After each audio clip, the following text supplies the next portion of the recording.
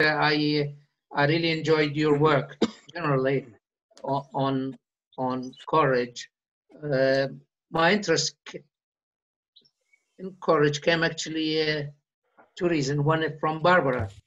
Mm-hmm. Uh, Barbara taught me Coleridge, and uh, the other one is it chimed with my uh, interest in German idealism. Mm-hmm. Kant and Schelling and Fichte and, all mm-hmm. these people. Schelling in particular. Mm-hmm. Uh, I, I should say we, we dealt with the poetry more than the philosophy, but we yes. you can't help touching on the philosophy. Mm-hmm. Okay. I, I, I don't want to take more of your time because we've got two hours. Mm. I leave it to you, Peter, if you don't thank mind. You. And thank you very much for joining us all the way from Japan. Thank you. I do. I, I, I started reading the Wednesday when I saw it advertised on the philosophy list, the Philos L, about a year ago or about a year and a half ago, and um, always enjoy the, the, the range of views um, and a sort of running theme or a few running themes throughout there in different media. Um, and uh, Raheem invited me uh, next time I'm in England. But every every every next time I have been in England, I've always been quite busy. I still have still have small children, um, so um, this this inconvenience is actually quite in, quite convenient um, in a way. Um, so I, I, gave a run through of my talk um, earlier today. It's about 53 minutes or something, if I don't waffle. Um, it's in four sections. Uh, the first is a, is a biographical um, introduction, touching a little on the early poetry and his, Coleridge's cultural and philosophical influence. Section two um, is um, talking about the transcendence of reason as opposed to its immanence. Um, three is continuing that with his his with Coleridge's take um, and and his own peculiar or um, special uh, reason, understanding, division, and then we close on section four, which is on his modified Platonism. Um, now, uh, the introduction. Samuel Taylor Coleridge was a poet, a philosopher, and polymath. While best known for his early poems, he continued experimenting with poetic forms till the end of his life. Born the youngest of ten in Ottery St. Mary, Devon, he was schooled first by his father, the parish priest and master of the grammar school, and then, following his father's death when he was eight, at Christ's Hospital, London, a charity school for the boys of deceased clergy. He read profusely, describing himself as a library cormorant. Fellow bluecoat Charles Lamb remembers him unfolding the mysteries of Iamblichus and Plotinus in the cloisters. He next went to Jesus College, Cambridge, although he left to join the cavalry as a private under the pseudonym Silas Tomkyn Comberbache. And when rescued by his brothers from this escapade and restored to Cambridge, he visited his friend and fellow poet Robert Southey in the summer vacation and they dreamed up, with poet Robert Lovell, the utopian communistic scheme of pantisocracy, resulting in Coleridge and Southey marrying Sarah and Edith Fricker, uh, the pair of sisters who were the, the sisters of Lovell's own wife. And then they gathered more couples with whom they aimed to establish their radical democracy in America on the banks of the Susquehanna. The utopian plan never materialized. At 27, he collaborated with William Wordsworth on what is widely acknowledged to be the founding work of British Romanticism, the Lyrical Ballads, in 1798, whose first and longest poem, and the one most praised on its publication, um, and Coleridge's name was known at the time, Wordsworth's wasn't, um, is, is Coleridge's sublime and supernatural Rhyme of the Ancient Mariner. That ballad is often grouped with Kubla Khan and Christabel the three being known as his mystery poems, or poems of pure imagination. Defying easy comprehension, rarefied, and by turns luminous and ominous, they nonetheless hold a widespread fascination and seem to convey encounters with the numinous. In and around this Annus Mirabilis of 1798, he also composed some of the greatest of what are known as his conversation poems listed in the footnote there, which he later presented together as meditative poems in blank verse. These meditative or conversation poems generally begin in a relatively narrow area, such as a room at home or beneath a tree, with the poet considering domestic thoughts. That poems then usually open up to, or always open up to wider concerns, sometimes past and future, then into a more universal consideration of the one life within us and abroad. The form then returns to the smaller area where the poem began, but now with a greatly widened perspective of life and human concerns and of nature in the terms of a religious outlook related to eternity. Here, meditation or careful thinking through opens up into contemplation, a mental state that is still or focused, intuitive, and no longer comparative or discursive. His philosophical writings came later, but even in these early poems, one finds potent instances of meditation and contemplation that would become crucial to his theoretical work. In the Aeolian harp, contemplation descends upon a sensuous moment. How exquisite the sense, snatched from yon beanfield, and the world so hushed. The stilly murmur of the distant sea tells us of silence. Characteristic here is the way the sensory gains an elevated quality as it trails off into a seemingly timeless moment. This profound impression is intensified at the end of Frost at Midnight, when he imagines the snow water thawing on his cottage roof and wonders whether the eavesdrops fall heard only in the trances of the blast, or if the secret ministry of frost shall hang them up in silent icicles, quietly shining to the quiet moon. The image of quietly expansive enlightenment reflecting back to its source, is suggestive of his later philosophical view that each individual must bear witness of reason to his own mind, even as he describes light and life. And with the silence of light, it describes itself. In, in a way, he's talking about the self evidence of reason there.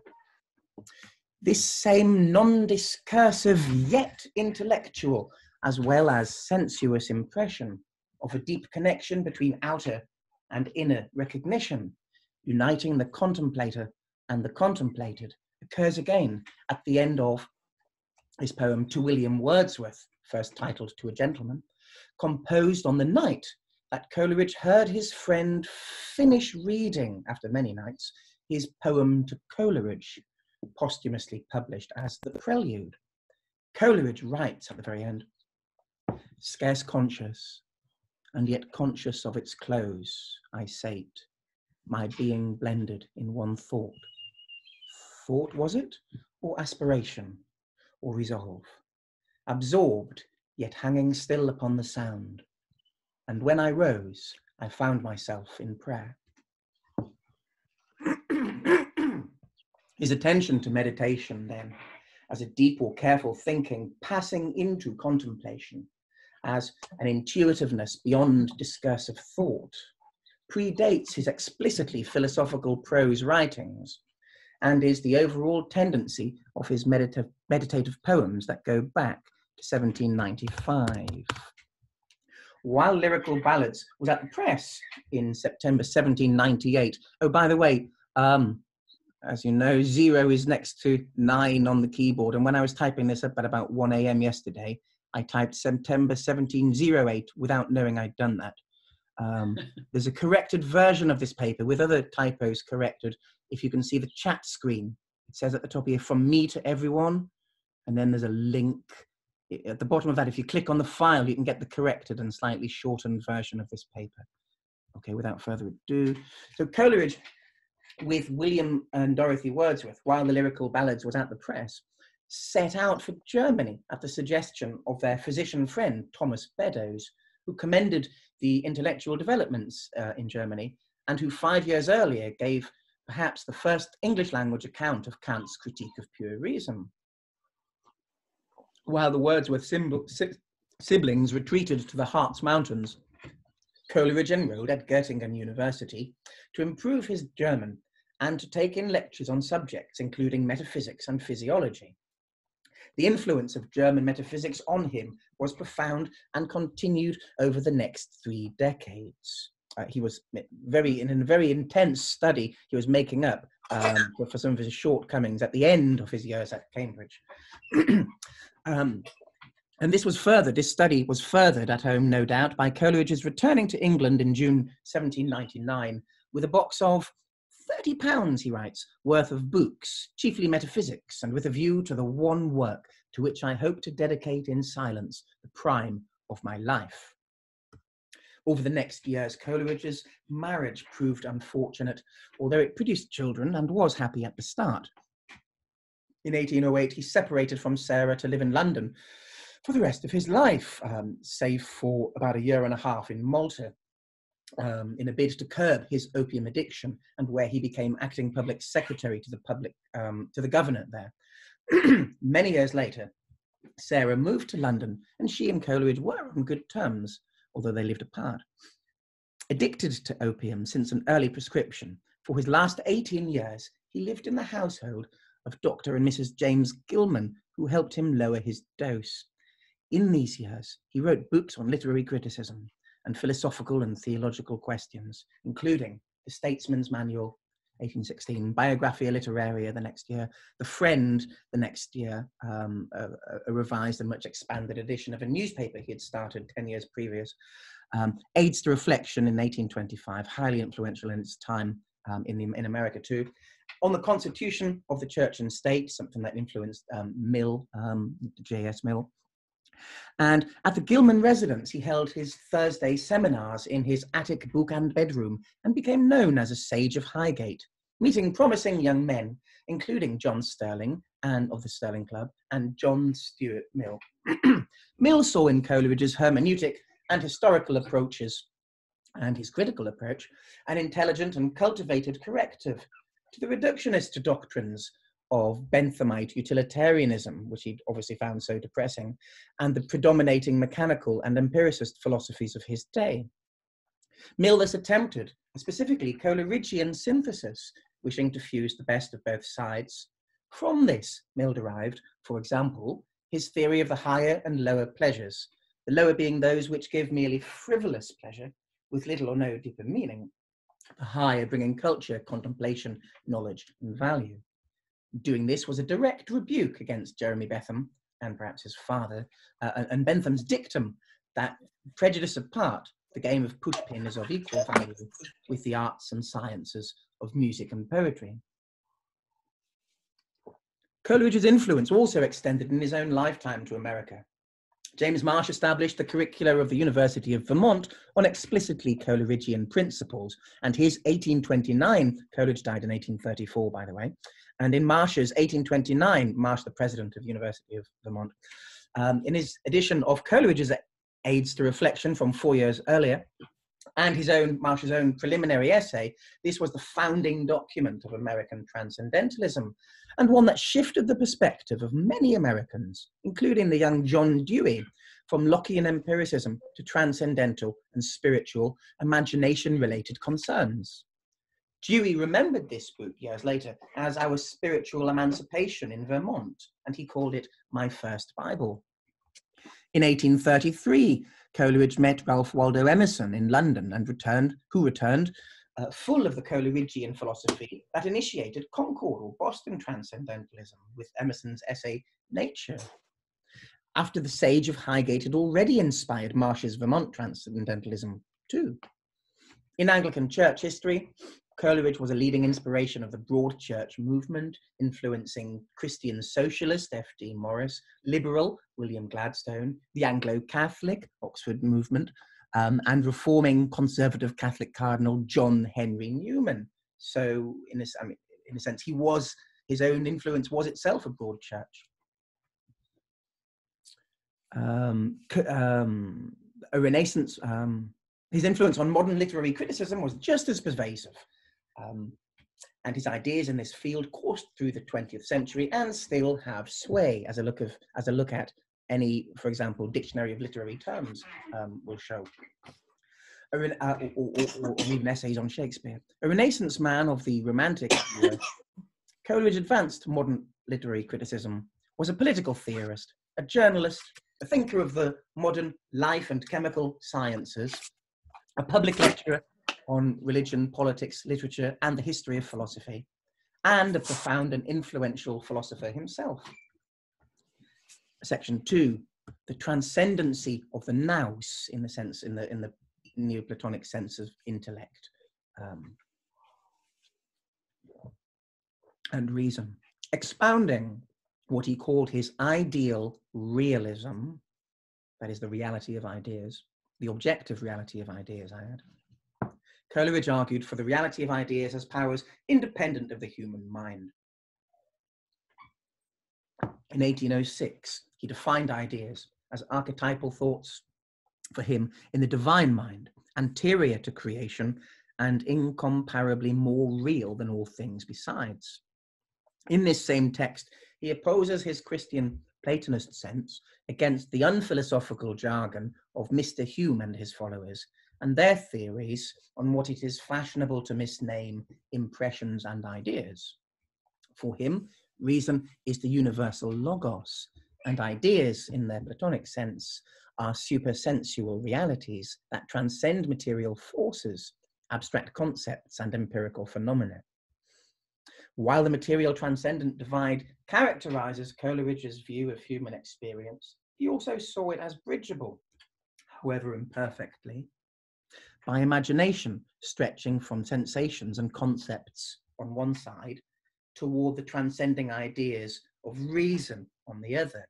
So there's a divide, but imagination, in a sense, humanly, um, defeasibly, poorly um, attempts to bridge it. Explaining this possibility, Coleridge equates the late antique and scholastic distinction between lux, lux, lux, the substantial light of reason, and lumen, the illumination from that light, like in a sense the sun and its glow or something like that, while the substantial lux of reason remains transcendent and apart. Its downshining lumen clarifies worldly objects and situations by revealing through them ultimate aims and symbolic intimations of eternal truths and values.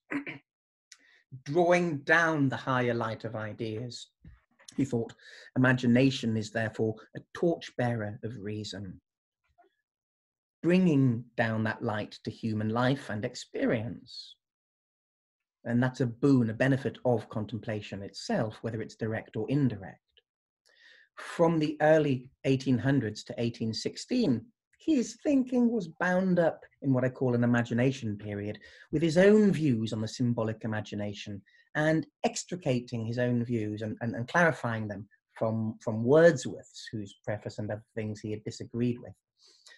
And once he was more or less satisfied with what he had put together, especially in the first um, volume of Biographia Literaria in 1816, not, not uh, 1815, but not published until 1817 with the second volume, his philosophy of ideas proliferated as he developed his view of universal reason as transcendent logos, ultimately based for him in the divine mind. In 1825, um, he gave his inaugural lecture to the Royal Society of Literature, arguing that there is a kind of myth with a religious meaning. He called it a philosopheme.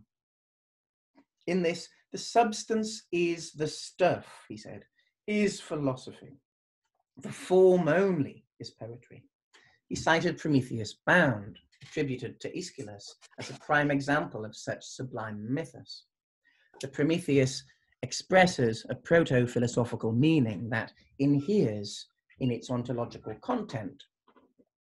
In this lecture, among other texts, Coleridge argues for the transcendence of reason, or nous, drawing in this instance on the Promethean derivation of the spark from above to mark the transcendency of the nous, the contradistinctive, he says, faculty of man as timeless and in this negative sense, eternal. Unlike the reason evolutionary and process philosophers, um, such as C.S. Peirce or A.N. Whitehead, although both of those nonetheless were influenced by Coleridge, Coleridgean reason is transcendent, is utterly supernal, um, as it, he says, the reason is not subject to any modifying reaction from that on which it immediately acts. It suffers no change, and it receives no accession from the inferior, but multiplies itself by conversion without being alloyed by or amalgamated with that which it potentiates, ennobles, transmutes. This sublime mythos concerning the genesis or birth of the nous or reason in man conveys a truth, he proposed, that in the Prometheus, that deeply impressed Heraclitus, as is known, and hence affected the subsequent history of metaphysics. Namely, the mere understanding, as he put it, differs from the animal not through any inherent quality, but in virtue of its combining with far higher powers that are essentially different from it in kind. As is well known, Coleridge saw the fundamental difference in kind between the reason and the understanding as preeminently the greatest source step to philosophy, and as his mission in life to explain. What is less well known, however, is the form and extent of his commitment to this reason being transcendent, um, which I will um, uh, cover hopefully in section three, understanding divided from reason. While he adapted from empiricist theories, including associationism, he contended that they could not provide a complete account. His argument with empiricism was essentially that it made immanent too much that should remain transcendent. He therefore opposed Aquinas's Aristotelian dictum, which became central to Lockean empiricism, that nothing exists in the mind that was not first in the senses. Coleridge could only accept this dictum with Leibniz's ingenious codicil, accept the mind itself. The mere understanding is for Coleridge the instrumental faculty, he says, of means to medial ends, that is, to purposes, or such ends as are themselves but means to some ulterior end. His criticism of the excessive immanence in empiricism gained strength through his retention of elements of association theory, um, which he never disparaged, operating at the lower level of his own more holistic model of mind. Welcoming this, um, as he said, Catholic and unsectarian spirit of Coleridge's, J.S. Mill agrees that truths or half truths from within utilitarianism and empiricism are retained in Coleridge's method, which is less extreme in its opposition because it denies less of what is true in the doctrine it wars against. he aimed to show his generally empiricist and increasingly utilitarian British contemporaries the dangers of understanding everything mechanistically, um, including mind and humanity. Despite uh, Coleridge seeming to many a romantic idealist crying in a utilitarian wilderness, Mill was partly converted amending his brand of utilitarianism along Coleridgean lines to gain a deeper and more humane cultural understanding, uh, which is, I think, how, how Mill is, is, is understood these days. At the heart of Coleridge's philosophy, then, lies the divide between the lower mechanical understanding, which is essentially self interested, and transcendent reason. While human understanding is for him a more or less mechanical rule-bound information processing facility whose basic unit is the concept. Transcendent reason is, for him, the universal logos, independent of human thought, and which is the source of the idea. Idea hmm, is an established but troublesome translation, or this, this bit isn't in your, your text unless you download the new one. It's an established but troublesome translation of Plato's idea. Form for eidos is little improvement, but both words already having familiar English meanings, but ones different from Plato's use of them. While Coleridge from around 1806 retains the Platonic sense of the word idea, he is interested nonetheless in how this sense interrelates with the familiar general idea, as in having an idea. Um, but that is not the import um, of, of, of the way he uses the word. He uses it in the objective sense um, ideas in the Platonic sense that Coleridge developed are not purely human mental occurrences, as when someone has an idea, but positive powers existing beyond the human mind. For Coleridge, they are ultimately divine ideas, although one does not need to be a theist um, to uh, go along with that. Take, for example, Iris Murdoch's Platonism, which also holds the objectivity of ideas without her being a theist. Um, I won't digress there, but you don't have to be a theist in order to follow this, uh, in, in, order even to subscribe to this kind of idea of the transcendence of ideas. So for him, they're, they're ultimately divine ideas subsisting in the mind of God and correlative with the laws of nature too. Um, in, a, in a sense, the two are almost interchangeable. What, uh, the ideas being, in a sense, a subjective aspect of, of law, uh, and, and, and vice versa, the uh, laws being, in a sense, the objective aspect of, of ideas in their objective sense. And he holds ideas and laws, as I said, to be necessary counterparts. So in the text below, um, I've copied, perhaps just for fetish value, but I like it, the, um, the manuscript there, um, Coleridge's hand, um, drawing out um, what would then become printed um, in the Aids to Reflection book. And here he shows his understanding reason divide under the heading, the difference in kind of reason and the understanding. And if we please look, if you can, if you can scroll down to whatever page it was, is it's around about page eight, I think, page 10 maybe, on your PDF. He has the two columns, understanding versus reason. The understanding, number one, is discursive, as opposed to reason, which is fixed. Two, the understanding in all its judgments refers to some other faculty as its ultimate authority. That is, the understanding refers to sense um, and look, looks, looks in a sense down to sense to, to, to, to see um, what it is constructing, um, if what it is constructing um, abides with the, uh, the notices or impressions of sense. But it also looks up. It looks up to, for example, the, the, the, the, the laws of logic, the law of contradiction and non-contradiction, etc. It looks up to reason um, but it, it does not subsist in itself. It is not self sufficient. On the other hand, reason, in all its decisions, appeals only to itself as the ground and substance of their truth. Self evident, apodictic. Three, the understanding is the faculty of reflection. And this is key here. the understanding is the faculty of reflection, thinking again, bending back, folding back, looking um, uh, um, uh, it's the self-consciousness of not just being aware, but being aware that one is aware, and of performing operations like a kind of loop in a computer, performing operations on the notices of the sense and on one's own, for example, wants and needs. Um, is the faculty of reflection. Reason, however, is the is of contemplation. He doesn't even say it's a faculty because he later says it's not a faculty.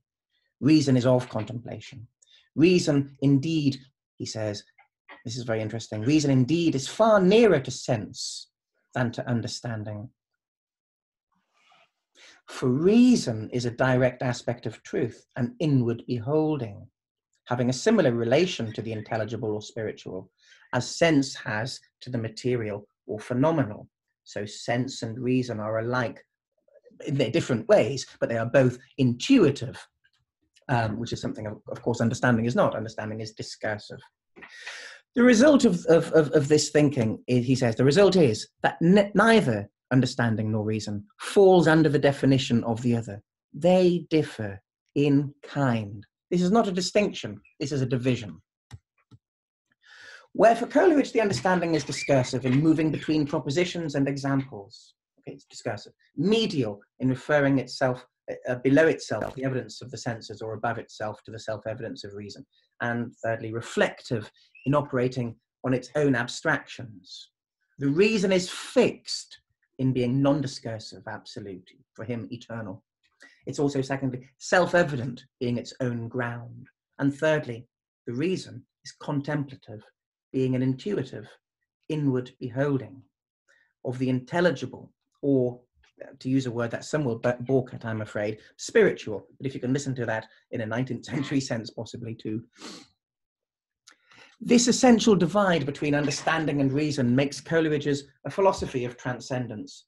Yet rather than conceiving of this central divide as the utter separation of human being from transcendent reason, he posited the transcendence directedness of imagination and its symbols as imperfectly, as humanly, traversing the divide between concept and idea.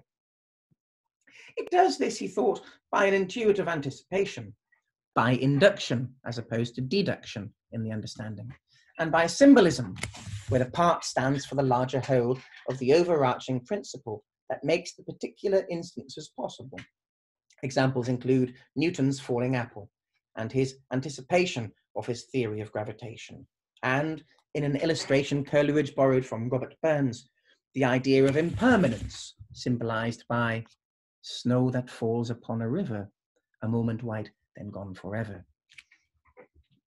Explaining how the symbol exemplifies with remarkable intensity the universal in the particular, he describes the imaginative perception of the higher in the lower, such that a symbol, he says, is characterized by a translucence of the special in the individual, or of the general in the especial, or of the universal in the general. Above all, by the translucence of the eternal through and in the temporal. The symbol always partakes of the reality which it renders intelligible. This 1816 definition of the symbol develops from Schelling's 1802 characterization, where intellectual intuition is simply the capacity, Schelling defines, to see the universal in the particular, the finite, the infinite in the finite, the two combined into a living unity.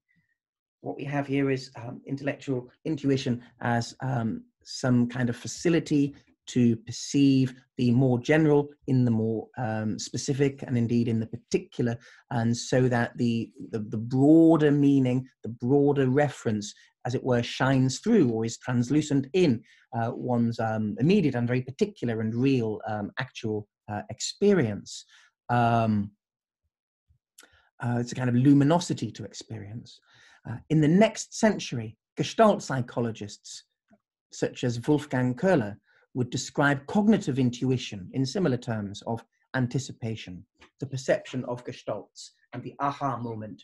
And in some important respects, their research continues that of post Kantian transcendental thinkers, including Schelling and Coleridge, not only in their shared concepts, but also in their strong opposition to radical empiricism um, of the kind in which parsimonious and limitativist accounts of mind and behavior occur for example, those of David Hume and in the 20th century, B.F. Skinner. And nowadays, in, in, in the works of, of, of Paul and Patricia Churchland, among others. Coleridge develops Kant's framing of the Verstand Vernunft, or the understanding reason distinction. He favors, however, the original version, which was Plato's, between dianoia and noesis. Contra its transcendental rather than transcendent status in Kant, reason for Coleridge and Plato can be intuited purely without images, with its ideas being real powers beyond the human mind. Convergently, in fact, Plato, Kant, and Coleridge agree that it's the higher understanding, Plato's dianoia, and not the reason that creates abstractions and theory and theories with images, schemata, and hypotheses. Kant and Coleridge also agree with Plotinus, but not always with the letter of Plato, that the imagination creates symbols that represent the ideas of reason aesthetically. Still, Plato says this too in his poetic passages, such as the winged charioteer of the soul in the Phaedrus and in the symposium with Diotima's steps or ladder of love, by which one may ascend from the physical aesthetic sense of beauty through moral qualities to an at once intellectual and aesthetic vision of the ideal sea of beauty. So we have Kant, Coleridge, and Plotinus and Plato agreeing somewhat um, on this possibility of imagination as a route to the ideas. Um, but for Kant, they are transcendental, not transcendent. By this imaginative aesthetic route, general experience becomes suffused with intimations of ideas, which are otherwise wholly transcendent to sense experience. This kind of intimation allows for the aesthetic apprehension or anticipation of ideas such as freedom, justice, the eternal, the infinite, without requiring them themselves to be immanent. For Kant, however, though the ideas are transcendental, being a priori prerequisites that regulate experience and knowledge. Those ideas are dependent on the human mind, in which they subsist as necessary components, and they are, therefore, in that sense, immanent to the human mind. Coleridge took pains to point out the harm in treating, in thinking in a certain way, in treating distinctions between two or more things of the same kind as divisions or rifts between kinds. And he notes that we are prone to separate things artificially that are not truly divided. In order to distinguish them more clearly, uh, that's, a, that's a weakness, we, we you know, murder to dissect, as, as, as his friend said. He, he states that this principle, he states this principle in the aphoristic form, that it is a dull and obtuse mind that must divide in order to distinguish. But it is a still worse that distinguishes in order to divide. It is all the more notable then, um, given his cautions um, against division, it is all the more notable then when he does indeed affirm and analyze the real and separating differences between understanding and reason. The understanding exists, he held, in a basically Kantian view, in varying degrees in different people and in some animal species as the faculty judging according to sense and arranging via concepts, you know, making order of, uh, making orders um, uh, via concepts. There are, however, he maintained, no degrees of reason. Okay, there are degrees of understanding between people. There are degrees of understanding uh, between different kinds of animals, but you have reason or not. I mean, your, your compos mentis or not, in a way. Um, there, are, there, there are no degrees of reason. Indeed, unlike the understanding, reason for him is no faculty at all. For reason, he says, reason with the silence of light describes itself and dwells in us only as far as we dwell in it. It cannot, in strict language, be called a faculty, much less a personal property of any human mind. This is why Coleridge says that we can speak, he says, of the human understanding in disjunction from that of beings higher and lower than man. But there is, in this sense, no human reason. There neither is nor can be but one reason, one and the same. From here, we move on now to section four um, and the last section Coleridge's polarized and modified Platonism. Coleridge maintained the reality of ideas in the Platonic sense, but what kind of Platonism can be ascribed to him? Whether or not Plato supports such a theory, and I don't think he does, uh, but that's not the point. Coleridge's is not a replicating correspondence form of Platonic idealism, where for every kind of thing, such as hyenas or teacups, there is a correspondent ideal form somehow floating around. For Coleridge, as indeed I think for Plato, it's not as if justice, freedom, or the law of gravitation exist as floating by, to be intuited by some genius, or some Socrates, or some scientist. Yet such is, unfortunately, a fairly common pastiche of theories of noesis, Platonism, or intellectual intuition. To their adherents, however, the adherents of those theories, ideas and laws are to be intuited in the sense of being read from constellations of phenomena and arising within um, or erupting from those in which they are expressed. For Goethe, for instance, advances in knowledge come from perceiving through Ur phenomena, or the primal, especially representative phenomena, that prominently exemplify their entire genera and its essential properties, and in that way can signify the class as archetypes, providing especially penetrating and generalizable insights. He found such examples in botany. Um, you know, the certain kind of leaf which could actually stand for all in, in that in, in, in the genera um, because its um, anatomy um, uh, well, on the outside was more was more simply schematizable, that sort of thing, finding representative phenomena. That's one way in in in which the form, the idea, um, can be intimated through experience. Such reading from and perceiving in takes various forms, many of which were accepted and promulgated by Coleridge, such as the Platonic induction from particulars to law-like ideas, or Baconian induction from experimental phenomena to laws of nature, and his own, the Coleridgean symbol, which is at once an analogy and a part of the wider whole which it represents, and also imaginative anticipation, of which Peircean abduction became a later example.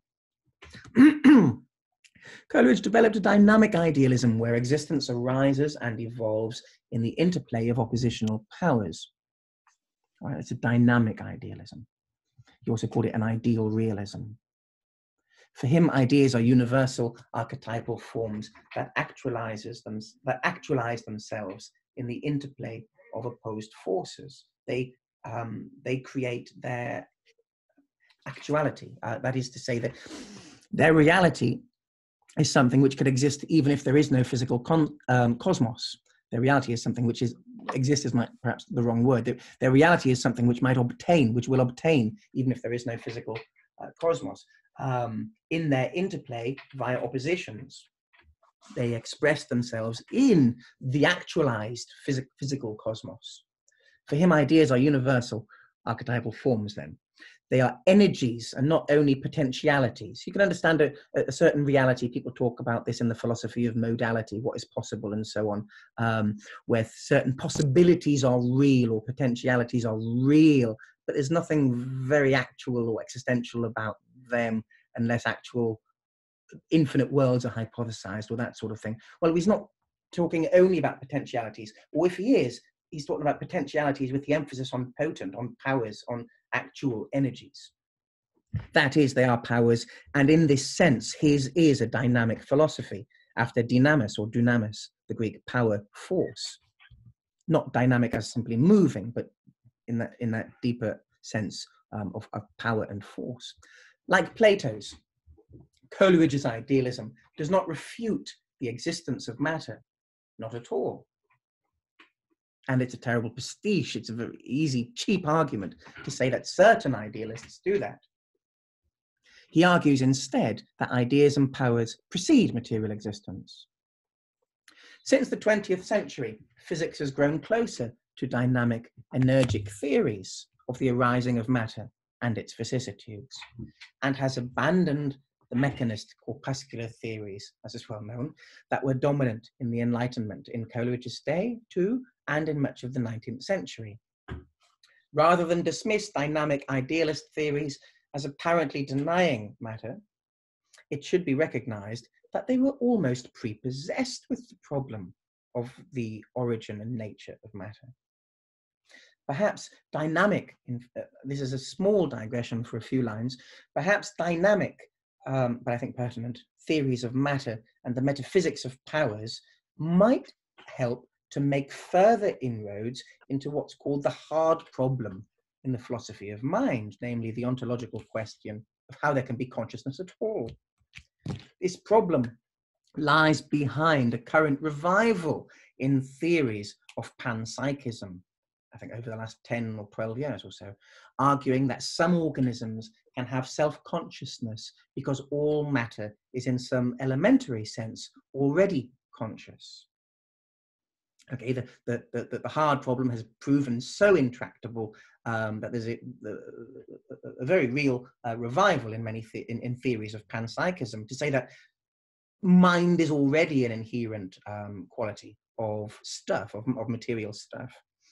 Dynamic idealism, however, could rival or expand this approach, this panpsychic approach, by commencing not from matter plus or you know super added with added with some quality primal consciousness inherent in matter um, but with matter as itself arising from more fundamental powers. Um, it's the, the quantitative extension of matter evolving from the qualitative intention of powers or, or more primal energies. The eventual realization of consciousness in living organisms might then be theorized as the actualization of fundamental powers as ideas. So through the you know the long evolution of the universe through you know uh, towards the very end when life arises and then there's some kind of consciousness that we know about it you know because we are here to know about it and it's a self-consciousness for us. Um, this eventual realization or actualization of consciousness in living organisms could then be theorized as the actualization of fund, those fundamental powers um, as ideas and laws from which, perhaps, according to uh, the dynamic um, um, philosophies of people like Coleridge and Schelling, um, and those ideas will be understood in the, in, as intellectual potencies um, or, or, or, cosmic potencies, as has been suggested by thinkers from Plato, Plotinus uh, in the Middle Ages, uh, John Scotus, Eriugena, to um, the Romantic era, Schelling, Hegel, and Coleridge. But if dynamic idealism has anything to it, any truth to it, how could we even know it if the ideas are supposed to be fundamental powers that are transcendent? How could we, how would we even know about that? The imagination is an important mediating concept here, as, as I've been suggested earlier. If an idea is to mean something to us, if an idea is to mean anything to us, it must first engage us. And that occurs through aesthetic expression. It must first be felt. Indeed, the term aesthetic expression becomes pleonastic in this context, for any expression requires sensuous material or reference. The relation is bidirectional, but hierarchical. As Coleridge puts it, by the symbol, the idea is rendered cogitable, but by the idea, the symbol is rendered intelligible. Coleridge defines philosophy as the affectionate seeking after truth, with truth as the, as the correlative of being. And he later identifies this pursuit as, the, as philosophy as the doctrine and discipline of ideas. But it is not only philosophers, he claims, who are stirred by ideas.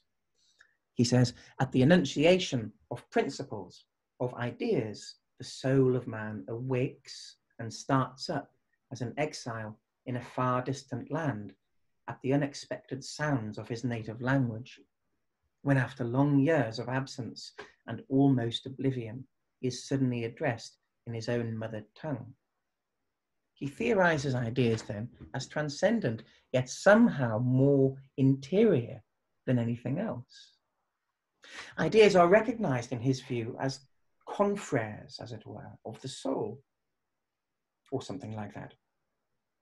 No object or phenomenon in sense experience itself amounts to an idea, but ideas arise nonetheless in the living of a life in the recognition of purposes and in the apprehension of value, personhood, freedom, and beauty, the, la- the last being examples of ideas, which he names.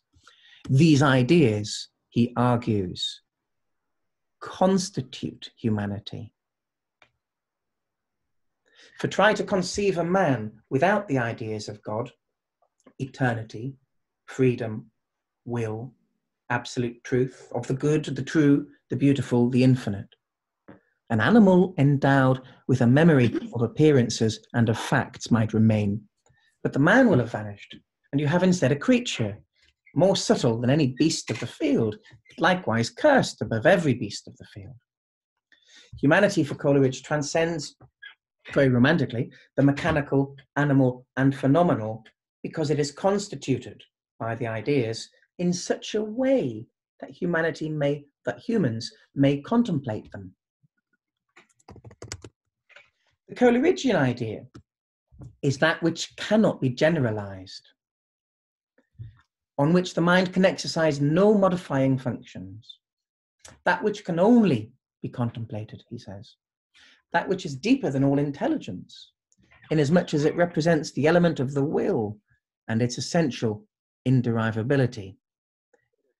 you can infer there, therefore, from that statement, that um, because uh, he theorizes ideas as transcendent and as objective, that there is in that that, that will, that a wish, that that some kind of um, volition um, is uh, uh, quality of the universe, um, and therein you find his uh, theism. Although I, I said earlier that you don't have to be a theist in order to to follow and even subscribe, like like Iris Murdoch, to his theory of ideas. While Coleridge was a proponent of clarity and definition concerning concepts and relations of terms in discourse, he held with the Plato of the seventh letter that all attempts to express ideas in clear and definite terms must end in aporia, not unlike the Kantian antinomies. Intuited, but not deduced, ideas are beyond the purview of the conceptual, beyond the bounds of sense, etc. Yet he notes disciples of Locke, Hume, and Condillac would laugh at the man who should ask them for the image of a flavor or the odor of a strain of music. And to ask for the conception of an idea is, if possible, yet more irrational. A much later notebook entry returns to the same thought here. And he adds that of an idea, we can no more understand it than we can taste or smell a conception of the understanding. We can contemplate it, we can't comprehend it. We can apprehend it, we can't comprehend, comprehend it. But there are moments, I think undeniably, when one finds oneself in such contemplation. Annotating um, the German Kantian historian of philosopher Tennemann's Geschichte or History of Philosophy, uh, while compiling his own lectures on the history of philosophy, um, which he gave around London, Coleridge schematically outlined his two level polar theory in his order of the mental powers diagram, which schematizes his system of mind as follows. Oh, there's another manuscript from Coleridge. He gives the simplest yet practically sufficient order of the mental powers. He says it is beginning from the lowest, and he gives it in two columns there. Beginning from sense, from the lowest, and then through to fancy or fantasy, and then to the lower or mechanical instinctive understanding. And then he draws a bar. And then there's the higher understanding, the understanding that has been enlightened by the downshine of reason, mediated by the imagination above it, and then to reason. And he writes that down again in reverse order. He writes a note on the side of that as well, saying that fancy or fantasy and imagination are oscillations, this connecting reason and understanding. That is to say, um, imagination connecting reason and understanding, and fancy connecting sense and understanding. What we have here basically are the three Kantian fundamental, um, Kant called them faculties, but Coleridge didn't call reason a faculty. But we have the, the three fundamentals of human mind sense, in a sense, if you'll allow the metaphor, sense in a sense at the bottom, understanding, mediating, and so at the middle, and reason, um, which is higher. And those are the three fundamentals of mind. To have any kind of mind um, which is humane, you also need to have reason or rationality. And then somehow, in, in an almost chemical electrical image here, fancy and imagination arise as emergent uh, qualities or, or, facilities. They arise as oscillations or wavelengths between. So, fancy or fantasy arises when you bring, as it were, the magnets of sense and understanding of sensuality and on conceivability together. Something like fantasy arises in a living creature which has needs. Um, and again, when you bring understanding near to what he calls reason, ideas, principles, there arises reason, which goes between the two. Fantasy, our fantasy, goes between sense and understanding. our imagination goes between our understanding and reason. Here we see Coleridge's scheme of the mental powers or epistemological modes, which arguably modifies Plato's famous simile of the divided line. The bar between the higher understanding and the lower understanding that he draws within the wider context of the mental powers, uh, the, the difference of, in kind of reason and understanding that Coleridge outlined around the same time in Aids to Reflection. This divide is equivalent to Plato's division between theoretic abstract understanding, his dianoia, on one hand, and intuitive or dialectic contemplation, noesis. Plato places this dianoia, this higher understanding, above everyday understanding and pragmatic belief, which is pistis, and below the noesis or higher reason that he claims perceives and contemplates higher truths and ideas, whether directly in intuition or after the logical approach of dialectic. Well, I said he claims, but really Plato has Socrates explain the theory of ideas to Glaucon, who is Plato's brother, his actual brother, in a way that allows a schematic initial understanding of the proposed ontology and epistemology of that theory. It's very interesting, and I think, in a sense, knowing might be the word, um, that Plato uses an abstract schema in order to show that abstract schema are in, um, eventually superseded by something beyond it, which he calls noesis. A line, then, in the divided line, I think you all know it, a line is first divided in an uneven ratio. The lower section of the line is shorter than the higher, with relative length. Uh, the relative length, so you have a shorter subsection at the bottom and a, and a longer section at the top. And the, the relative uh, length, Plato actually says, represents what he, what he says is sapheneia. That means clarity or clarity of knowledge. So the longer upper section, episteme, knowledge, has greater clarity, being more properly knowledge than the lower doxa, opinions. Each section is then further subdivided according to that initial ratio.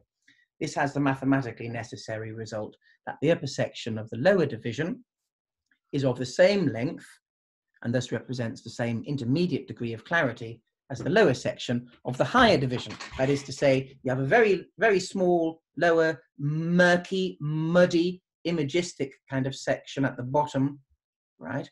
Um, and at the very top, you have the long section of noesis or, or contemplation. Um, and then the two sections in the middle are, are, have the same degree of clarity. The sections are, as, as, I, as I've written out here, eikasia, pistis, dianoia, noesis, Eikasia is to pistis as dianoia is to noesis, is the way it works. What does that mean? It means seeing and fancying images, that's eikasia. Seeing and fancying or fantasizing images um, is eikasia. That is the same root as the word eikon or icon, which means likeness. And in modern Greek, actually, it means guesswork, um, which, which works very well. That faculty or facility is is the common sense belief or pistis and everyday understanding as abstract, conceptual, we might say academic understanding, dianoia and, and scientific, is to the higher reason and the contemplative intuition of ideas, noesis. To rephrase, naive, illusory, imagistic thought, think of the prisoners in the cave, is to pragmatic, getting by in everyday trust. Think of farmers who know exactly when to plant and when to reap, but they can't tell you the science necessarily, and they'll, they'll dismiss some theories, uh, but they know very well in their pragmatic way, pragmatic, their thingly way. Um, is that that that ratio of of of, of as it were the prisoners in the cave versus the uh, farmers who just know exactly what they're doing in their own sphere of physical activity, dealing with things, not just images now, not like the prisoners or the children in the cave or that ratio is the same as, but in a lower level, as theoretical understanding, as scientific, academic, um, schematic, conceptual, abstract understanding and hypo- hypothesizing is to contemplative intuition. For example, in, in our you know, academic work, we often come up with theories and hypotheses which could actually be signifying airy nothing, just like the prisoners in the cave. Um, and, and, and, and the lights and the patterns that they see and their hypotheses could actually do actually signify airy nothing. Um, in Coleridgean terms, this schema is as follows. I'm saying that um, Coleridge is modifying Plato's divided line. And I've drawn this down below. Coleridge, in Coleridgean terms, this same divided line is sense plus fancy is imagistic thought. That is to lower understanding, which is mechanical and instinctive and self-interested thought, right? Sense and fancy is to that self-interested and instinctive understanding as the higher understanding is to contemplative reason, as discursive, theoretic, symbolic, and even imaginative thought is to contemplation. So, intuitive sense and imagistic fancy or fantasy relate to the lower understanding, as the higher understanding plus symbolic imagination relates to intuitive reason. But Coleridge made a modification to Plato here that is at once Neoplatonic and romantic. Namely, his schema begins in naive intuition,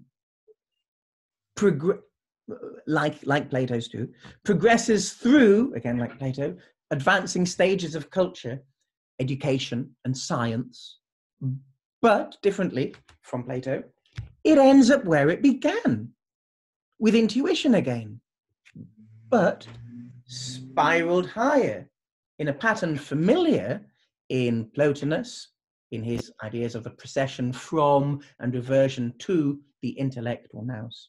Familiar also in Hegel's evolution of spirit in, in, in the phenomenology of spirit. Familiar also in Yeats's A Vision and his spirals, remember? And Eliot's four quartets, what is it, in my end is my beginning, and so on. As well as in Coleridge's own conversation poems, as I, you know, briefly summarized in, in section one.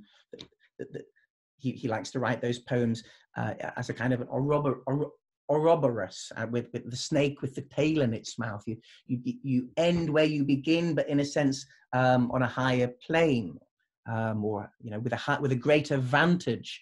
Um, after all, you've you've you've you've gone through to get there, and you're back at home. While Plato's divided line is linear and progressive, Coleridge's diagram, though also progressive, it's not straightforwardly linear. Yes, it's a line, but it has a pronounced bipolarity and has a harmonic balance, as as, as somebody uh, brought out. Um, um, Barbara, you picked up earlier what Coleridge thought by uh, Owen Barfield. I did, yes. Like, I was just reminding myself of something, yes. Yes, this this idea of of, of that uh, in Coleridge that that here he's showing a harmonic balance in the powers um, is is something which he had a very good insight there, and, and I owe that to him. He achieves this. Coleridge achieves this harmony, this this difference from Plato, uh, because you see as, as is famous, you know, Plato in, in many interpretations disparages the imagistic. I don't think that's entirely true, and, dis, and, he, and, and he certainly doesn't disparage the poetic. He just thinks it can be, behave itself better sometimes. Um, and they shouldn't be scientists, and they, they shouldn't be professors of science and history. I think we can agree there. Um, Coleridge, is, Coleridge makes this advance by proposing a chiasmic intersection an X, a cross, a crux, a crucible, a, a chiasmic intersection at the center of the order of the mental powers, where higher and lower understanding, that is, where mechanism and freedom, where nature and spirit, an unfashionable word, I'm afraid, meet. He gets there, as, as I show in my recent book, I'm sorry for the plug, but I cannot detail here, by fusing the cosmogonic radically non-hierarchical, transmutational, both directions at once system of a thinker who's very obscure, the German mystic Jakob Boehme, the Protestant um, mystic. Um, he was a, a, shoemaker, as you probably know, with the hierarchical. Coleridge fuses this crazy, messy, murky, elaborate, uh, intensely thoughtful uh, system of Jakob Boehme, who was much more influential than he's given credit for. He fuses that transmutational system and, and trichotomous logic, which, which some people think um, is what occurs in Kant, and then everyone or a lot of people know we find this in Schelling and in Hegel, who themselves said, "Yes, I got this from Boehme." Um, Coleridge fuses that system with the more hierarchical system of Plato and later Christian Platonists, especially enough, um, Hugh and Richard of St. Victor, um, the, the, the, the, medieval thinkers, whom he, but they were Neoplatonists, whom he encountered in Tennemann's History of Philosophy. And reading them and then thinking back to Jakob Boehme and trying to fuse the two, correcting both, is what leads him to draw out his order of the mental powers, which, we, which we've been looking at. Jakob Boehme, strange, interesting man, formulated a profound cosmogony of intense non-spatial spirits or properties which interfuse to create the universe. Coleridge is, is quite well known for his marginalia. He annotated um, many books. No, not many people got cross with, with, him when he gave their books back and they were scribbled all over. Um, and, and some people commented that their value was increased that way. Um, you know, he doesn't just add exclamation marks and underlinings or no, no, no, etc. Um, he, he, he writes essays on through the margins and on the fly papers, etc. Um, Coleridge wrote more marginalia on Jacob Boehme's collected works than any other collection of books, including the Bible, including Kant, including anything, including Shakespeare, including Baxter, including anybody he was he was reading. His, he has a, a very long conversation with him. He's but Boehme is pretty much ignored, apart from a few people. Fulford wrote one essay on him or touched on him. Beer wrote quite a bit. John Beer. Um, um, but there's been very little because it's so difficult. Um, very little work on, on, on Boehme and Coleridge. And yet he was um, profoundly influential on Coleridge, as he himself said. Um, so Boehme had this system um, in which the interesting thing here is, it's very interesting in, in, in the history of thought. Boehme has a primal logic of qualities, logic of qualities, of qualia, that evolves into a subsequent cosmos of quantities, as in the Newtonian universe, the Galilean universe, right? Working as he did around the same time, although not knowing them in any in, in, in, in, in reading or any other way, working around the same time as Bacon and Galileo, he is in some sense their mirror opposite. Where those natural philosophers instituted an empiricism of outwardness, extendedness, and quantities, and subsequent logics, etc., and methodologies, Boehme forged an experiential and transmutational system of inwardness, intention, and qualities, a logic of qualities, which is what Coleridge loved in him. Boehme greatly influenced Schelling, as is very well known. Influenced Coleridge, as is well known but not, dis- not well discussed and hugely influenced Hegel, who says as much himself. Hegel called Boehme, he said, this deep yet uneducated man, he said, is the first German philosopher. Coleridge, however, struggled more than his German counterparts against Jakob Boehme, whom he loved so much, and whom he nonetheless greatly admired and continued reading from his school days in Christ's Hospital till the end of his life in 1834, but most intensely did so in the years around 1818, in the summer of which he recognized with a bit of a start the tendency to pantheism and the immanentization of divinity and reason that Boehme could lead to. And hence, um, did lead to pantheism, especially in the early and possibly mid Schelling, who had largely adopted Behmenistic or Boehme's uh, cosmogony. Thus, from 1818, Coleridge takes off more strongly into his own, becomes less influenced by Schelling and related thinkers, and commences his own thrilling trajectory of thought into ideas and their imperfect human contemplation. Unlike with Boehme and his close followers, for Coleridge, the order is always hierarchical, with reason highest, transcendent, and tantamount for him to divinity. Reason on the human side, he said, not considering it now um, as, as objective logos, but reason on the human side is contemplative. It's an openness to reason proper. Considered from the outside, from the outside the human mind, his reason is the logos. Logos in a Heraclitean as well as a Christian Johannine sense. You know, in the beginning was the word, or the Heraclitean logos. It's the ratio of the cosmos, the hierarchical balance of forces and powers, the and of ultimate ends, the source of value and of the ideas. Plato's scheme, to return, is straightforwardly linear or unipolar, and Plato just needs one ascending ratio of two ratios. Okay, uh, imagistic thought is the common sense uh, understanding as uh, academic understanding is to contemplation and noesis. He, he just needs that. But because Coleridge's scheme or schema is bipolar and chiasmic, uh, it has that crossways section in the middle. His extremes of sense and reason mediated by the enlightened understanding. His extremes have a harmonic and chiasmic similarity, not explicitly shared by Plato's imagistic thought and noesis or contemplation. Coleridge's counterpart poles of sense and reason draw human experience outwards in both directions. They draw human life uh, and world towards both ends of the aesthetic intellectual spectrum into a reality that transcends the understanding without disparaging it. While it cannot be comprehended, this reality can nonetheless be apprehended. And with such apprehensions, the greatest meaning and value is found, even in the most ordinary contexts.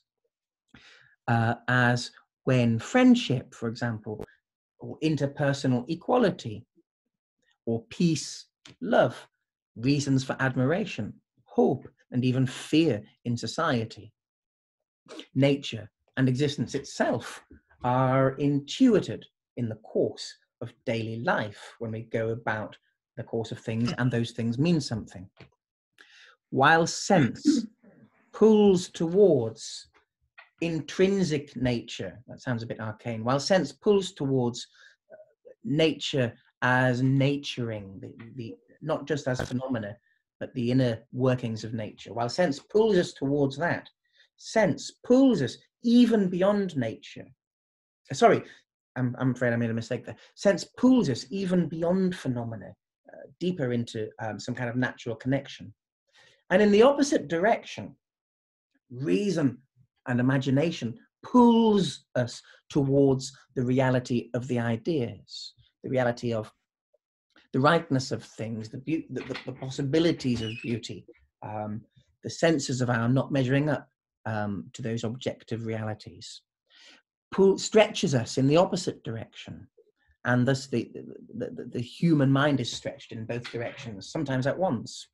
Between these extremes, everything we can comprehend or conceive passes through the cognitive chiasmus of the higher and lower understanding, the higher being discursive and enlightened, the lower being impulsive and instinctual. But we need them all. He's not disparaging that middle. He's not saying it's utterly forlorn or forgotten. Um, everything that we are to experience must pass through exactly that chiasmus of the understanding. Flanking his concept and, and, and the art of poetry is drawing with, with one arm stretched as far down as you can to sense and the aesthesis or the aesthetic, and the other arm stretching as far up as you can into the ideas. That's only that's that's you're only halfway there to poetry or history or philosophy, he thinks. The job then is to bring that down and to render that in what he calls the discourse of reason, to, to articulate that into a form that can be communicated to others. Flanking this um, using concepts illuminated by reason. Flanking this conceptual crux are fancy below and imagination above. Uh, I think I can skip this little bit. Coleridge's almost poematic schema is like verse in an A, the order of the mental powers. It's like verse in an ABC CBA rhyme scheme. The fact that he sketched the columns of mental powers out twice in reversed orders indicates complementarities, brings out further cross currents, counterpoint, and harmonies, as well as his notion that the powers cooperate chiastically. While it progresses from the lowest level sense to the highest reason, as does Plato's divided line, Coleridge's extremes are pronouncedly counterparts. His extremes of sense and reason are pronouncedly counterparts. But so too are the intermediaries of fancy and imagination. As too are the actual um, is the actual crux that yet the, the, polarized higher and lower modes of understanding. The, the higher being enlightened, the lower being self-interested. Fancy bridges intuitive sense and the lower understanding. And this lower level oscillation mirrors what's happening in imagination as that also moves between uh, two um, poles, between higher understanding and intuitive reason. The lower and higher levels of understanding, which are equivalent to Plato's pistis or pragmatic getting on with things, and dianoia, uh, conceptual abstract theorizing, are also counterparts. And their opposition affects the crucial chiasmus of mind through which ideas and images cross over and transform, where intermediary concepts are given shape before being sent out on their various missions to the edges of experience. Owen Barfield memorably notes that Coleridge's complementarities in this schema are like octaves, and as Wordsworth wrote in his poem to Coleridge, The Prelude, the mind of man is framed even like the breath and harmony of music. There is a dark, invisible workmanship that reconciles discordant elements and makes them move in one society. Indeed, there is more in common or in tune between reason and sense in Coleridge's theory than between reason and understanding even though understanding is closer to reason along the pole. In an apt similitude, we might say Antarctica is far more like the Arctic, its polar counterpart and opposite, than New Zealand is, its linearly nearer neighbor. Referring to this reason sense analogy and their shared intuitiveness, Coleridge describes reason as an organ bearing the same relation to spiritual objects the universal, the eternal, and the necessary, as the eye bears to material and contingent phenomena. For Coleridge, contemplative reason, I'm on the last paragraph now, contemplative yeah. reason is to an even greater degree than its adjutant imagination, a being of the same kind as its objects. It is apt, I think, that it was a poet who observed and articulated these intellectual or spiritual and sensual connections, and devised an elegant schema describing their interrelation, alert as he was to conceptual rhymes in the balance of opposed yet complementary powers. This harmonic scale within the hierarchical relation between sense and reason is born of a rationalist intuitionism, acknowledging that the aesthetic and the noetic operate at opposite epistemological poles, but in such a way that as in Boehme's cosmology, extremes meet. It also accords with, yet goes beyond, uh, Plato's divided line, so that by bringing out the harmony between sense and reason, Coleridge also demonstrates their essential similarity. And, like Kant's system, it synthesizes empiricism and rationalism, but it does so in a way that retains the transcendence of reason and the ideas. Okay, I've uh, finished there. There's a little end note which you have um, in which I give the link to uh, the Oxford Scholarship online uh, location where the book that I've recently written um, can be found and read through entirely. Um, if you have an institutional login, you can read that freely. Um, and I also have added, if you want to download the, the corrected version of this paper, I've added a very brief bibliography. Um, the idealist philosopher in 1930, J.H. Muirhead, um, wrote it, uh, Coleridge as philosopher. Then Owen Barfield, uh, his Col- what Coleridge thought in 1972. Um, the intellectual historian Mary Ann Perkins, her Coleridge's philosophy, the Logos as unifying principle in 1994. Douglas Hedley's mentioned uh, Coleridge, Philosophy and Religion, 2000. Um, the literary professor Paul Hamilton in London, um, Coleridge and German Philosophy in 2007.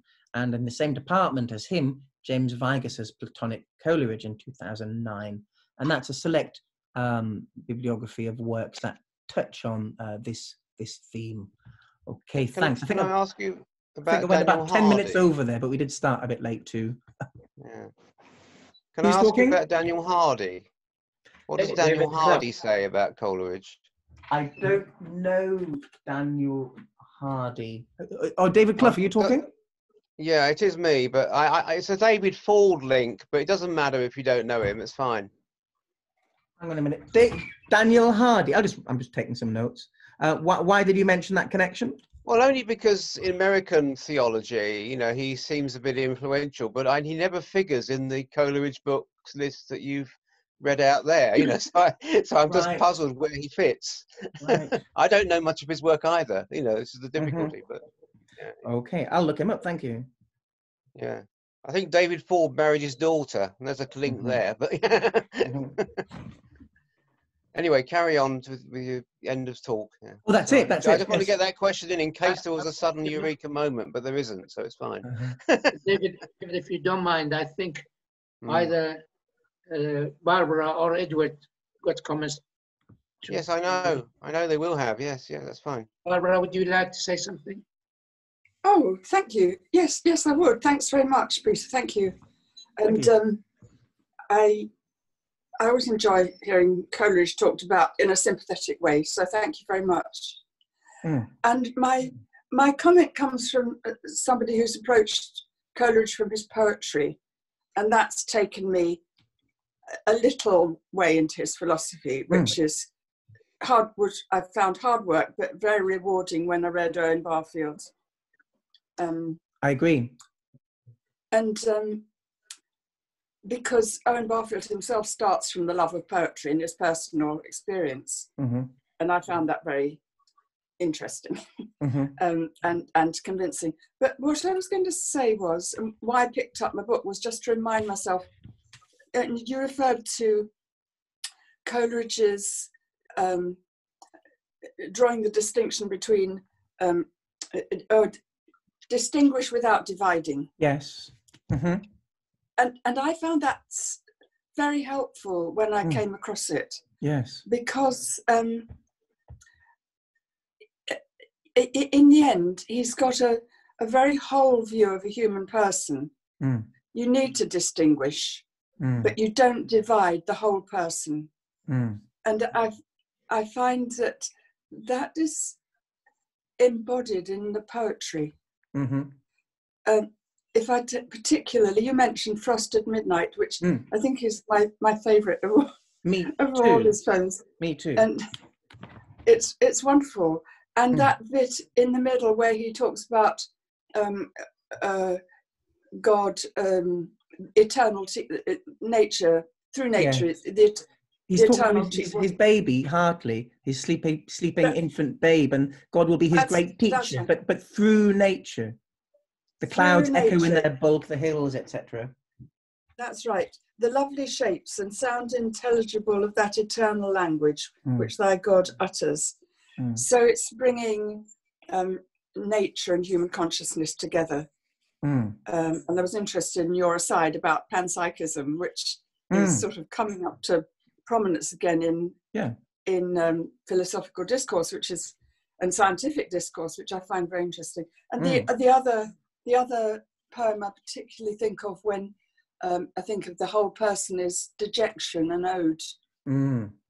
you know, where he talks about, and I just looked it up. It, oh, lady, we we receive but what we give, and in our life alone does nature live. Yes.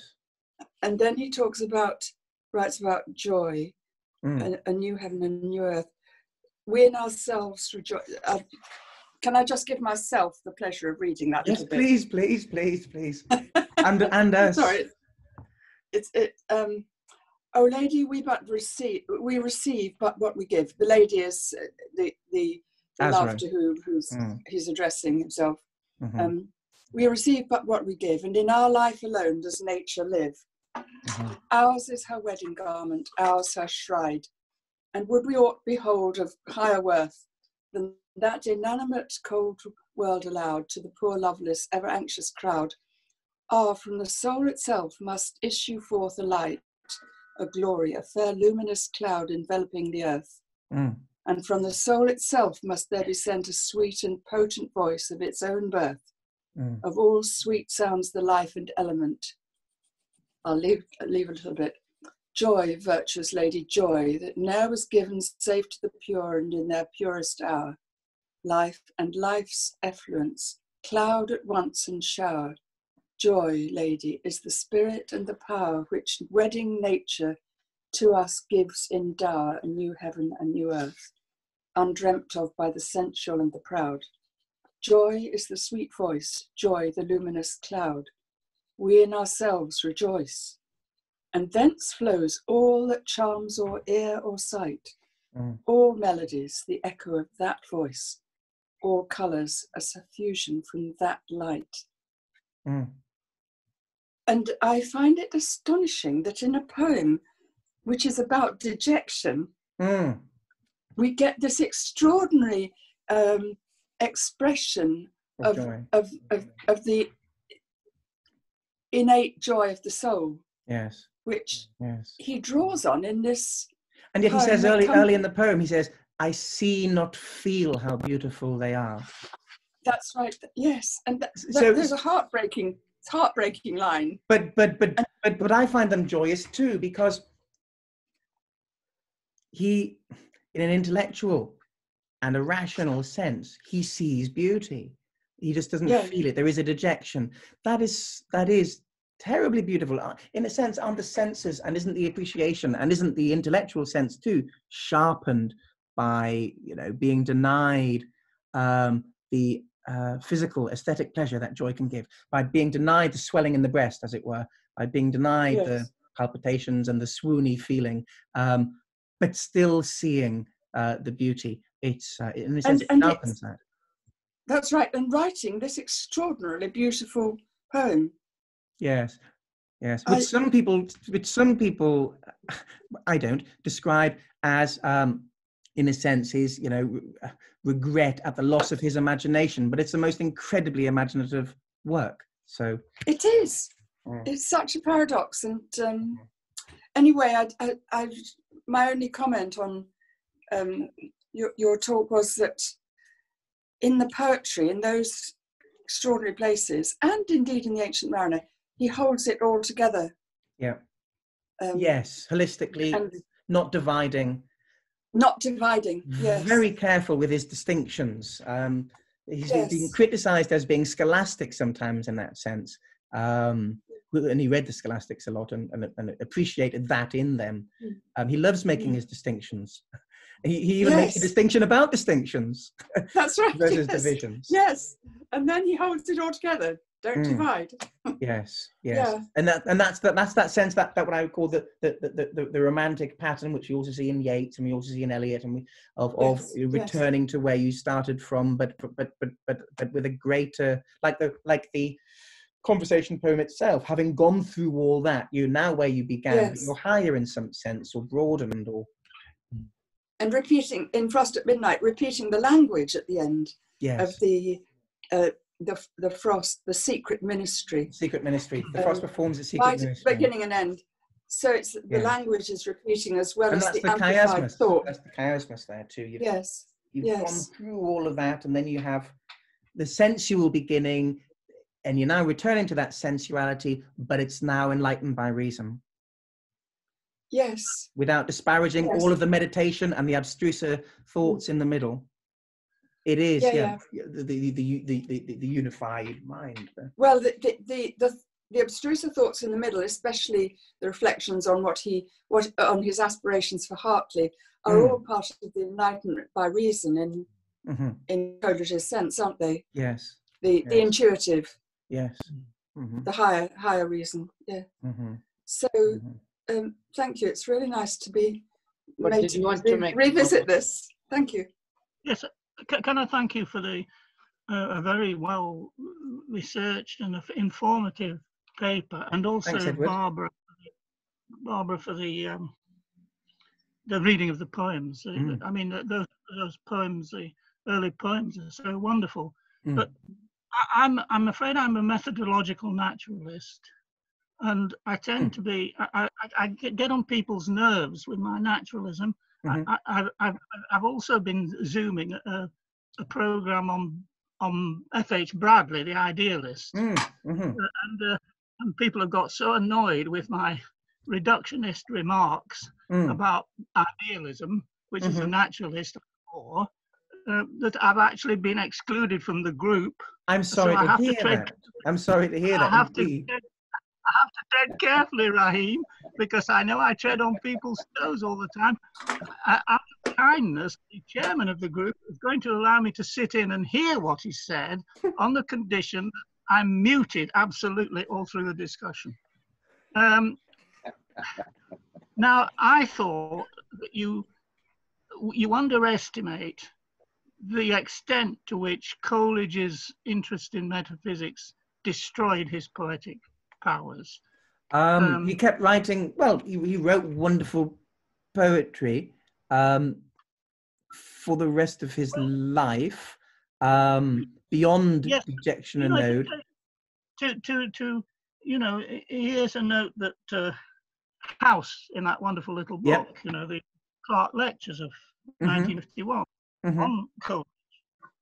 To have done with poetical prose, sickness, and some other worse afflictions first forced me into downright metaphysics. I believe that by nature I have more of the poet in me. So Mhm. I think in Coleridge, rather than metaphysics, as it perhaps does in some poets, maybe Mm. Rilke and Yes. reinforcing the poetic power destroys it. And also, Well, okay. now, you- th- th- be- it's before you continue, just before you continue, just wonderful- on, on that point, on that point, just to, to be point by point, um, in the second volume, immediately after his definition of the the definitions of the imagination at the end of um, volume one of Biographia, um, in the next volume, which is the first is philosophical, the second is, is literary critical. In um, the next chapter, chapter 14, then, which is as, it- as it were, chapter one of volume two, he then goes on uh, to say that um, not all poems are poetry and not all prose is non-poetic. And he actually believes that plato has produced some of the greatest poetry ever written um, that though they are not in verse they are not poems. Um, and um, you can you can see very much um, um, and, and and he says as much in notebooks and letters that he um, that he in a sense he's given Wordsworth the job of the um, edif- edifying poet, so he can continue with his poetic prose, um, which is often brilliant um, and uh, touching um, and contemplative, um, uh, which he continued um, and, until 1834. Um, so there's, I, I wouldn't want that. Coleridge himself um, said that there isn't that, that, there, that there is some of the highest poetry um, in certain um, um, moments in prose. Um, what I I- thought, by the way, House's point that uh, the best it's best to read the text of the dejection ode in the letter to Sarah rather, rather than the text that uh, Coleridge published. Mm. And I don't see how you can get round Peter For not to think of what I need needs must feel, but to be still and patient all I can, and happily. He, he seems to be partly endorsing this, but it's terrible. And happily, Mm. by abstruse research, to steal from my own nature all the natural man. Now it's the natural man, not the Platonist and Platonistic man Hmm. that we must have. Mhm. Um, this was my sole resource, my wisest plan. Well, it was his unwisest plan. It destroyed him. Mhm. That which mhm. sets apart, that is the intellect, Mhm. infects the whole, and now is almost grown the temper of my soul. I mean, that shows the destructiveness of all this tinkering about with what goes. I mean, the great division in philosophy, I, I don't I don't like him because he's an idealist, but is Kant. And Kant says we must stick within the bounds of sense. And all these pre-Kantian metaphysicians like Plato and Plotinus are always trying to take us on the beyond the bounds of sense. And the only thing beyond the bounds of sense is nonsense. And in fact, you inspired me to write a I poem. completely disagree with you. I know you do. Sorry, Plotinus. Edward. I completely disagree with you. Is that David? No, No, no, Mike. that's Mike. Oh, Mike. Little, uh, this, Go on then, Mike. Plotinus. Come in then, Mike. Think, well, up, up to the boundary is interesting. To you know, that's where we are. But I think beyond the boundary, uh, fulfills our curiosity as a, as a, you know, why we're here as us, you know, as a spirit, or, or, Mm. or you know, the curiosity of mankind using our mental faculty. It's Mm. about constantly pushing boundaries. Otherwise, what's the point? You we might Yeah, well just Mike, accept I think um, Ed, Edward and Mike, I think the, what Mi- what Mike just said there it sounds like okay. If if Edward goes in the garden, he can say, "Here's a rose, here's a fence, here's some grass." Mike what might want to say, "I'm alive." He might Hmm. want to say, "Wow." He might want to enunciate and articulate that. But Edward would say, "No, you can only say exactly what you see right now because No, that's all there is no. naturalistically." that is Is that is that what you were saying, Mike? It's Well, I- I'd say that was part of it, but I'd also probably sort of think what was on the other side of the garden. Exactly, but there's one Right. thing that you can't get to the other side. I mean, there's a, the- Hegel has this sophism that you can't talk of a boundary unless you know what's at the other side of the boundary. Well, Yeah, but we don't know where boundaries are until we've crossed over them. oh, Hmm. that is not true. That is not true because death is a boundary that we cannot cross. Yeah, no one's ever come back to tell us Ed- any different what it's like. Edward, So how do we know what it's like? It's just it's just our, our projection of our concept. listen, That's all. listen, Edward, everybody, this Yes. is this is a point we will never get through by arguing with Edward. We've just got to let Edward be on his own, Fine. No, and no, those no, of us who fine, it's fine. disagree Anyone- argue because it's not something that can be sorted by rational sense. Anyone got another point to raise? But, but So Barbara, just- at least Yeah. you wouldn't you wouldn't mute me, Barbara, would you? Um, you- no, I wouldn't mute you, but I wouldn't let you dominate either. Mm. Oh no, I, No, no, I think everybody's got their place. Everyone, everything's I think got their all these- expression. these these Mm. chaps are not going to let me dominate, Barbara. Will no, William have all right. another? No, I'm just just saying it's it's it's not very helpful if we constantly get into the an old rut that we can't get out of in argument. Yeah. But Mm. better just to say, I, I- I want to ask "Oh, Edward a question. I want to ask Yeah, Edward a question about um, about Edward a question. Apart, mm,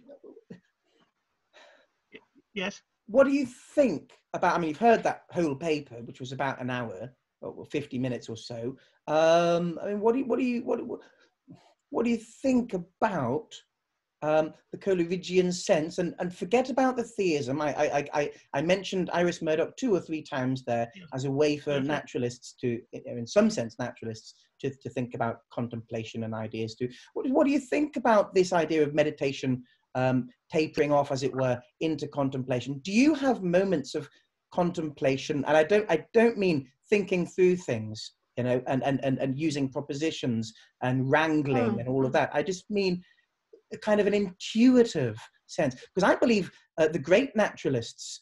I honestly believe that the great naturalists um, are contemplative. The great ones, not necessarily Richard Dawkins or um, No, that's a good question, Mm. Edward.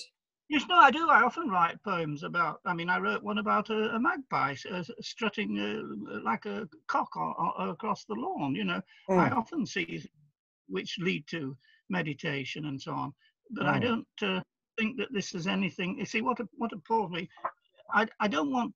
I know. I just forgive me, but this is what I wrote. Uh, Mm. this is the Yes, please. Plotinus, you have much to answer for. mm-hmm. poor drunk Coleridge with his opium, conceived your Enneads were like a door to mystical Elysium. But what ideas are, he couldn't say, and how their world connected with the flesh. He only felt they carried him away to freedom from the body's mesh. They lifted him to sovereign reason's realm, above the understanding's lowly climb, where an ecstatic trance would overwhelm and raise him from the world of time.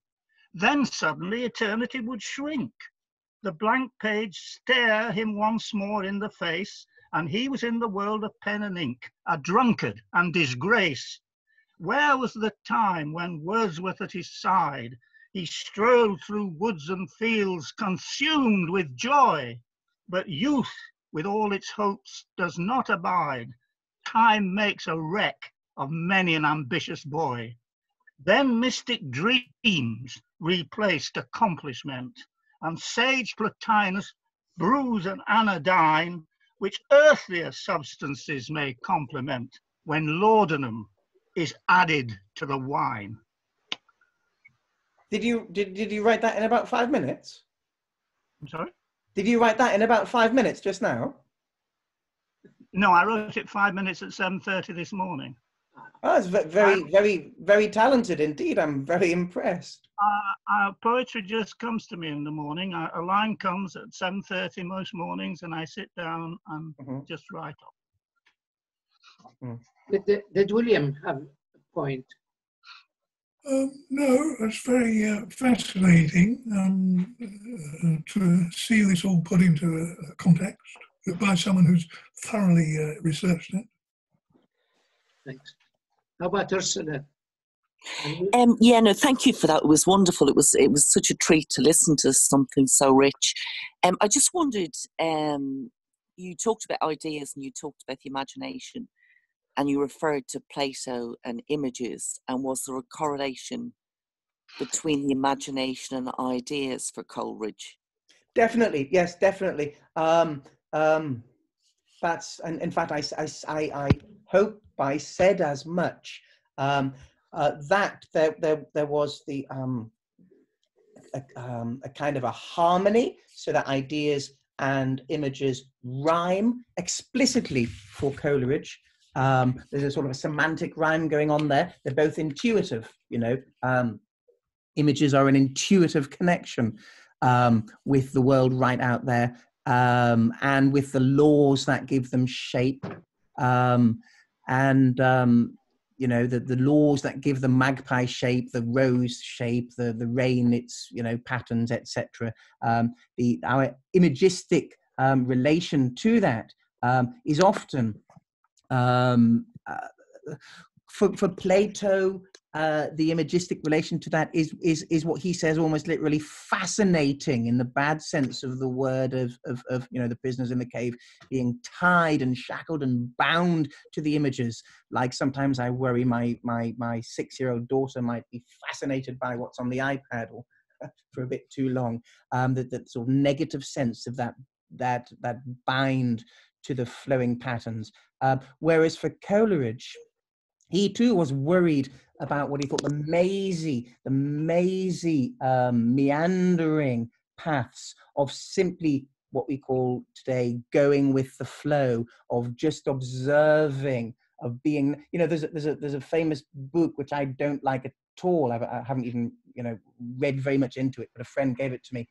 Eckhart Tolle, The Power of Now. Yeah. And he talks about always, always be in now, always go with the flow. If, if, that happened, there would be no such thing as families, for example. There'd be no such thing as getting anything done because you, if you're always mm. following that impulse, if you're honest just to that, that moment. Um, sorry, and sorry, Coleridge, Peter, of course, you know, from his own. You know, the one you're talking about, The Power of Now. Yeah. It's, um, you know, they're just, all, the, all these types of books are just sort of, they're, they're pointers they're not to be taken literally. Oh know, yes, as yes. though that's the Bible.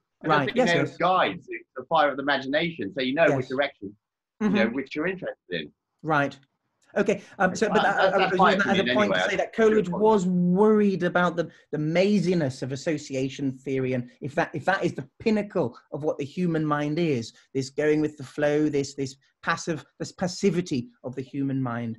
Um, and yet, uh, to answer, um, I've forgotten your question, Ursula. Ursula, to answer Ursula's question, yeah. um, for Coleridge, more than much more than Plato, in, in a sense, and here opposed to Plato, he saw in the images a kind of mirror image reflection of the ideas, um, in a similar sort of way that Goethe saw, could see, or thought that he might be able to see, and in a sort of way that Francis Bacon also thought one may be able to, by induction, look at particular phenomena and eventually get towards um, the laws behind them.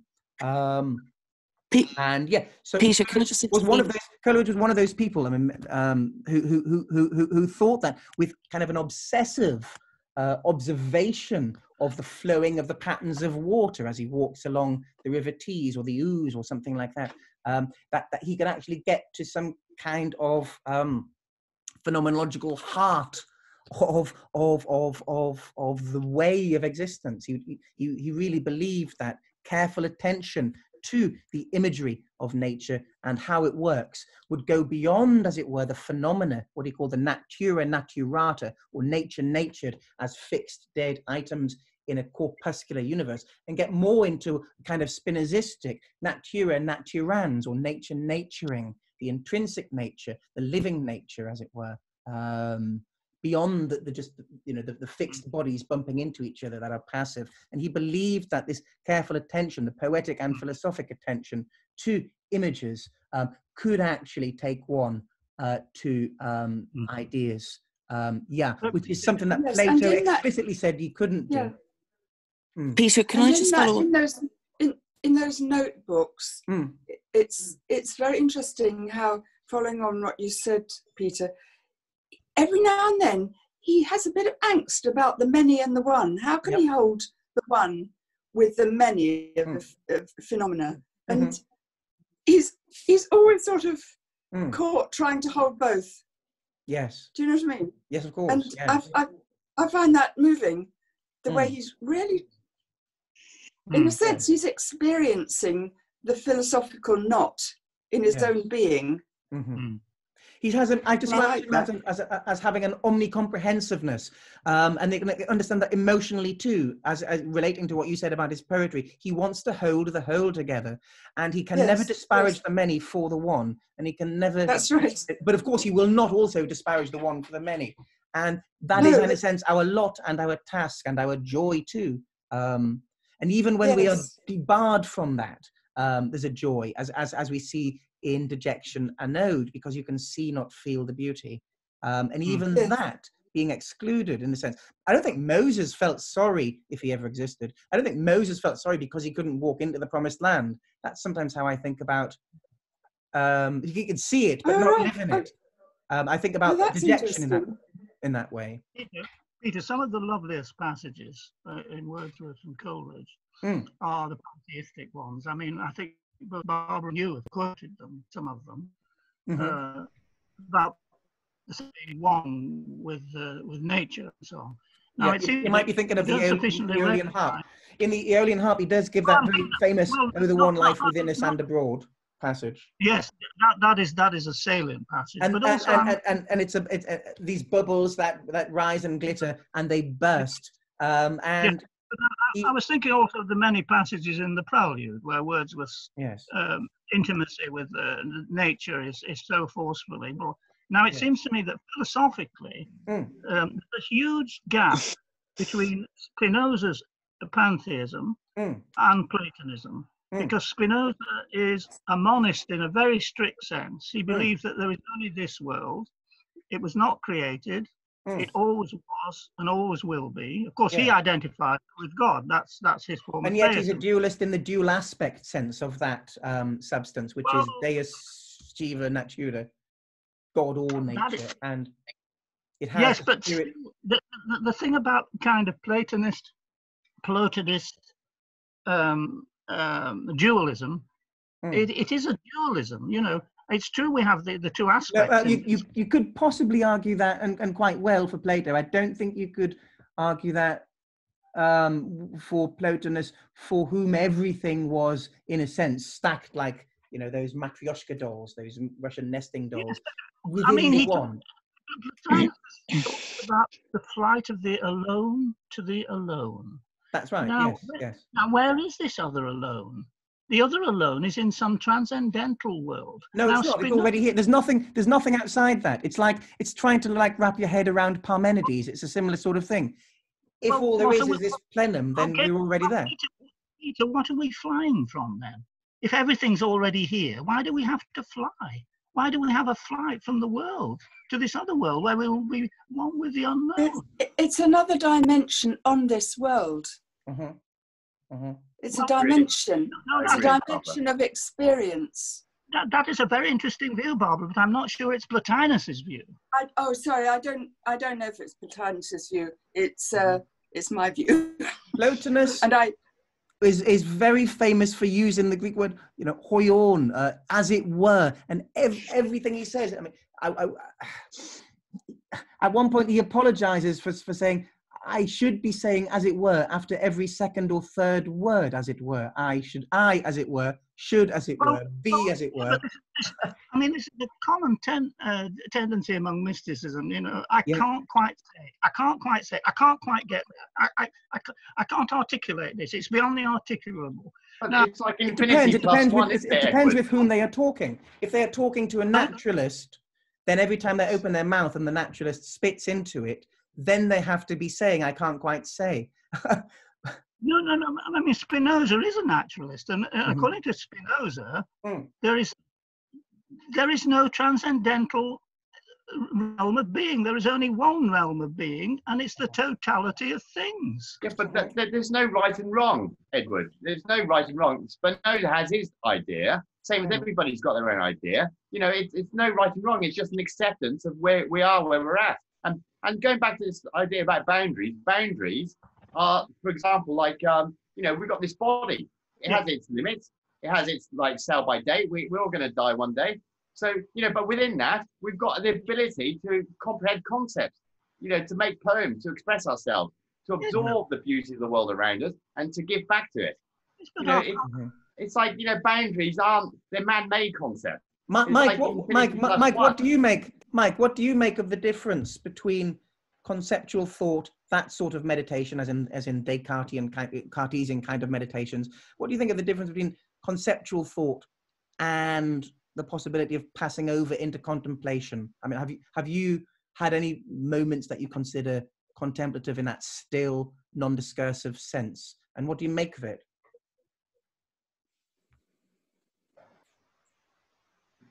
Very interesting question. Um, I should say Mike's we're- an we're all- artist. Sorry. Okay, Mike's an artist. thanks for telling me. That helps. I paint. I mean, we all we've all sort of made decisions about what sort of life we're going to lead. You know, what sort Yeah. of path we're on. And I think I do inhabit uh, space. You know, probably a bit more so than you know, sort of most people because I spend more time doing it. Is, is looking, uh, you know, and, and trying to sort of push the boundaries Mhm. and you know, trying to un- absorb beauty in order to in, or- in order to express it. So, um, uh, contem- contemplation, you know, it's not. You know, you said something very interesting. Um, I can't remember exactly the word you used, but you said something like, "We can contemplate a concept, but we can't comprehend it." Yeah, that's right. Yeah, quite. We can apprehend it, but we can't contem- com- comprehend it. We Yeah. can. You, so it's like draw a line idea round is it. very much in the mind, but to Mm. comprehend stuff, it's without the mind. It's it's like tabula Yeah. rasa. Mhm. It, it's this, you know, it's like comprehending a feeling. It's all to do with, in a way, it's, it's, it's your heart having a connection with, with the, on the other side of the boundary. The comprehension is the mind thing, which you realize there's a boundary, there's a thing, it's a practical thing, but it's not an aesthetic thing. the Mhm. boundary. the, the, the, when you use the term boundary, you, you are using a concept. The concept. Yeah, yeah. or word, words are concept if you want to take it. Yes, but I can't understand Peter's. I mean, what is a con- concept? Concepts enable us to talk to each other That's right. because concepts generate language. Yes. Now, Yes. what would it be to purely contemplate? I mean, I can imagine contemplating a vase Yes. uh, uh, uh, or, or, or a bowl of flowers and perhaps making a poem out of it, as Rilke did. I mean, Rilke con- con- contemplated and made a symbol out of the rose, didn't he? He, Mhm. re, he re, I mean, the rose is, a, is an age-old poetic symbol, and, and Rilke found new ways of talking Okay, about I, it. I, I understand your point, and and and, and About it, it just I think I understand your question. So, for example, oh, let me think. Imagine, oh, some imagine you know Kierkegaard's um, aesthete, who you know he's a seducer, a serial seducer, and he and and, and like Mozart's Don Juan, etc. He hurts um, usually women um, by pleasing um, himself in very physical and literal ways. And there's a possibility um, that Kierkegaard says, for example, that such a person, such an aesthete, could, um, by something like contemplation of what personality, what it means to be a person is, that could, that, that, that- it- it's through, through, contemplation of purposes, of one's higher purposes, um, beyond um, pleasing myself, um, that um, brings one into the moral beyond the aesthetic, beyond the merely natural. what you're talking about is not contemplation, it's further reflection. he may, for example, see Mhm. the unhappiness he's caused to a girl he's seduced. Now Well, a, that brings pure, in a pure naturalist aesthete mm, need not care for that. Why should he? And and further reflection implies further thought. Yeah, But Oh, yeah. contemplation, contemplation is not the same as thought in my book. that's correct. Yes, yes. It's a much more Certainly not discursive thought. yes, it's a word. It is a wordless place. hmm It can end up with poetry, but the Mhm. the, the experience of contemplation is Mhm. Is Yeah. is still As I was saying, you reach up to wordless. it, but then the poet's job is to bring it down and articulate it conceptually. But Yes, you can't get right. there from the concept alone. The, the, the job of the, the concept is like the brick, and you can't make a house Yeah. with just bricks. You need a blueprint, you need a purpose, you need a frame. Um, Yes. And the job of the poet, like the job of the historian and so on, is to put into words what you have seen. Um, houses, and that having, Yes. houses are not made by contemplation. Well, in a, in a sense, no, uh, in a sense, they are, they what- are. when you understand the purposes of different spaces. I mean, it depends what. If, if, if you're just a Barratt home cookie cutter kind of architect, then, then perhaps I might agree with you. Hmm. It's to bring uh, uh, it, it- the way the, the poet would be the same as the architect is that they're bringing vision into form. Yeah. Articulating it, literally, Yes. with the Yes. Concept. interesting. The concept is not have to being absorb it before The concept of and- re-understanding, it's not being disparaged here. It's the it's always the necessary mediator. It's in a sense the love in the sense of communication. Like Plato's contemplative had to be almost forced, or at least asked very sternly, please go back and educate, as it were, the prisoners in the cave. Don't just sit in the island of the blessed. Come back and articulate. Uh, it's a famous story about St. Thomas Aquinas. After he'd written the whole Summa, um, he, he Hmm. then had some kind of contemplative vision for the first time and couldn't write another thing. He said, All of my writings are just straw. Well, Plato would have said to him, No, write that down. Try to. There's nothing ineffable. You can actually try to. Well, certainly Coleridge would have said, "There's nothing ineffable." You you try your damnedest to put that into words, and if you can't use literal words, you use images and thought you were- symbols. You're, I mean, you're, you're alternating, Peter, between de- defending the ineffable, because you've just quoted Coleridge as saying we must avoid the ineffable, we must say. Yes. and- Our and are- job is to articulate as much as is possible. There might be, okay, there might be pray- moments. but then you praise Aquinas for for for um for that. Th- th- I, find, by there's- the way, I find that Aquinas remark another example, but I know I know Barbara's going to of, of, of a false humility on the part of a Christian. All I've you know when a chap says all I've written, all the thousands of words I've written are worthless, we know he doesn't believe a word of it. He Well, the point is, he didn't write any more. After well, uh, he said that and didn't write any more. So that is something. He didn't add to that pile of stuff. I know, but maybe he was just worn out. I mean, the Summa is such a, a tremendous. Uh, I agree with you. I agree with you, Edward. It is very possible that he was maybe just worn out. I do agree with you. Somebody should put a footnote there. and, and to pretend that he held it was worthless is a false modesty. No, but when you say pretend, then you're interpreting, and not everyone's going to agree with your interpretation of Aquinas' state of mind when he said it. No. There's no naturalistic so evidence that he to- was just pretending. I think. But that's Okay. endemic to the human condition. We're always interpreting and we may misinterpret. Yeah, I know. So Yes, it brings you back to, to motives, doesn't it? What provokes people to do what they do, to say what they say. You, know, you could just with say with the motives. Aquinas, it's a it's a way of talking. It might have been exaggerating in order to make a point. People do it all the time, but there is still a point there that I think you can perceive.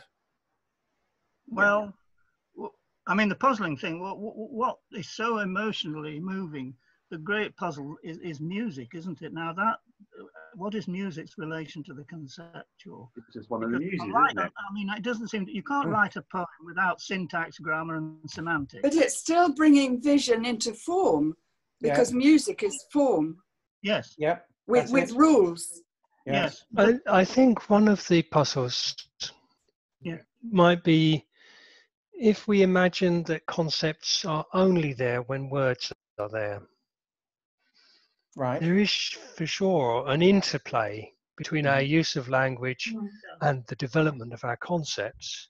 Yes. Mm-hmm. But in another sense, in a very real sense, the concepts come first. Yes. Well, yes, I've seen children. And therefore, the there are concepts first, Chris. I think without feelings- language. The concept is a way of understanding the feelings. Surely feelings come first. Well, it did. It, it, Ah. Here I'm at a loss to know what people mean by concepts because I would have, I would regard a feeling as a concept too. But I know this is not fashionable. Well, it kind of But under, when we're just talking about logic, concepts and language and why music would be a mystery, well, music's only a mystery if you think that concepts, including emotions and feelings, Must be can only be expressed in language with grammar. Yes. Yes. Uh, If you So Bar- extend Bar- the so concept Bar- of Barbara language the word there. broadly enough, then music becomes language, then that would be true. But of course, Hmm. still, we understand and then we express, so I think. Yes, and then we understand more. Yeah. When you say there- of there's- articulating Understand. forms. when you say when you say concept you- is a feeling, of course, we have the concept of love, we have the concept of longing, we have the concept of nostalgia. But you know, those are all feelings. I mean, if I mean, one might possibly denying- think we might think um, we might think of of concepts as a kind of rebus you know of a correspondence idea of communication where this word or this term or this note or this chord or this color or this interplay of colors stands for this that this that. Not necessarily in a strict way. If the context changes then the meaning of each of those pieces changes too. And therefore conceptuality can be understood as a rebus. And in that sense feelings too although i think wittgenstein disagreed but feelings too could act with the concepts as concepts. Um, did that make sense? I think it's, a, it's, a, it's an eternal dance between those two poles. there's an eternal? Dance between the two poles, between Yeah. the, the concept and the thought. yeah I mean, not the sorry, not the concept, the feeling and the Uh-huh. uh, and the thought. The, the Mhm. feeling and the, the, the, the thought, whatever it is, the experience, let's say. Yeah, Mhm. And yeah, the logic and the form, half. That's, and, and the way it's expressed, whether it's language, words, or music, notes. There's, Mm. like, like you said, there's a constant interplay or dance. which that's a Absolutely, nice yeah. word. Regardless of the expression, it's those two that. So that makes gives us two levels of what people like Coleridge said there were three of. There's the feeling, there's the concept, there's that eternal dance. There's also something else which is objectively real and discoverable, which is, we might put it in another term, which is the possibility, which some people like scientists and artists and historians and creative people discover in the same way that you can, in a sense, hit upon a concept or a way of putting something. You can also discover a new possibility, which can then broaden your conceptual space. Um, Well, a good example of that is Einstein with the concept of simultaneity. He changed Right. that concept of simultaneity. simultaneity. I'm sure Ra- Ra- Rahim could. I've got another example of that, and it's a physical one. But you can have a man and a woman creating a baby. You create a third thing, don't you? It's like you know, that's what happens. yes. You know, that's why ma- the three is a magic magical number, I suppose. Mm-hmm. Mm-hmm. But like I, you know, sorry. no, sorry. Mhm. No, But it's not just a, yeah, it's a third thing, which is a different thing, which is related to the two. I mean, it's dialectic. I Yes. think the danger is reification, and, and, and, and this owes a lot to Plato, of course, because he was searching for definitions all the time. That is, you. Ah, but re- Edward, he was searching for Socrates was searching was was pushing with his Elenchus for definitions in order to bring people to throw their hands in the air and say, actually, I don't know what I thought I knew. Well, And then they get yeah. that thirst for knowledge. Oh, there's an emptiness now in the in the shape of what I thought I knew. I must now try and suck myself, as it were, but often or because the brain abhors a vacuum, just like nature. Uh, you're, you're- I, I mentioned the pastiche of Plato, and I think you're you're you're being a bit of a you're giving a bit of a pastiche of Plato right now. No, I'm not. I mean, if you if you Plato will take a concept like courage, right? He will engage with his interlocutors, and they will all give him examples of what courage is. You know, like General so and so did this on this Yep. battlefield. So Yep. did that. And Plato, and then Socrates stands back and says, "Oh, you've given me lots of examples, Yeah. but what I want to know is what courage is." Yes. Well, there is nothing beyond the examples. I mean, that is a, a prize example of reification. He thinks there's something beyond parti- and this is where Wittgenstein corrected him. I, well, I, I, do- I don't know. I think any naturalist scientist will say that you should be able to define your terms and your genera and your kinds. well, you can. H2O is a de- is is is is, is a cast iron definition of water. The I mean, the definition is Edward. Definition is not reification. Quite. Quite right. No, well, I'm I'm not saying the sci- well. I mean, You did. You just said that uh, a few minutes ago. definition. I mean, Chris, I'm not attacking definition. I'm attacking Plato's misuse of the idea of definition in the Socratic dialogues, where he takes on people who give him examples and he says, I don't want examples, I want a definition of courage. I want I think it is a fair point that you can give as many examples as you like. You still haven't given a, a definition that will apply to different examples. Yeah. So you might say, this man is courageous, this man is courageous, this woman is courageous, this dog is courageous. Now you come across another man, that hasn't told you Yes. whether this other I other think in man that is dialogue, the general. until I you've for- got the general concept. I think in that dialogue, the gen, the general whose name I forget, but the general was saying, Like, like, ah, ah, like uh, uh, n- n- thank, what- Laches, yes, thank you, was that courage is keeping to your position. Yeah, not abandoning not abandoning your comrades. Yeah. That's But then he keeps shifting the he keeps shifting it when you find counter examples of people who are still courageous. And his point is, Laches actually says, ah, that counter example. Oh yeah, he might have abandoned his comrades, but he's still courageous. What Socrates is getting at here is that there is an intuition beyond just what you can express in your normal discourse of what courage is. He's being maieutic. You know that. You know that Socrates saw himself as a midwife, and you know that he's not simply playing some barrister's game here. He's not just lawyering. He's trying to get people in a, in a, in a kind of in a kindish kind of way, but but it looks like like he's making them look like fools. He's trying to show them in a kind enough way their own ignorance in a certain sense that but that ignorance in their discourse is is far more ignorant than the ignorant than than the, than the knowledge which is in which is not fully developed than the knowledge of what they in fact do already know in some incipient way. The general does know that this counterexample shows that his previous example was not sufficient.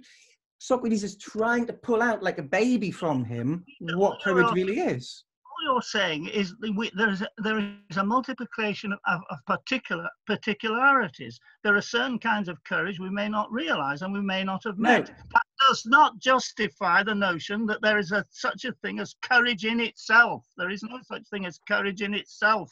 There are only examples of courage.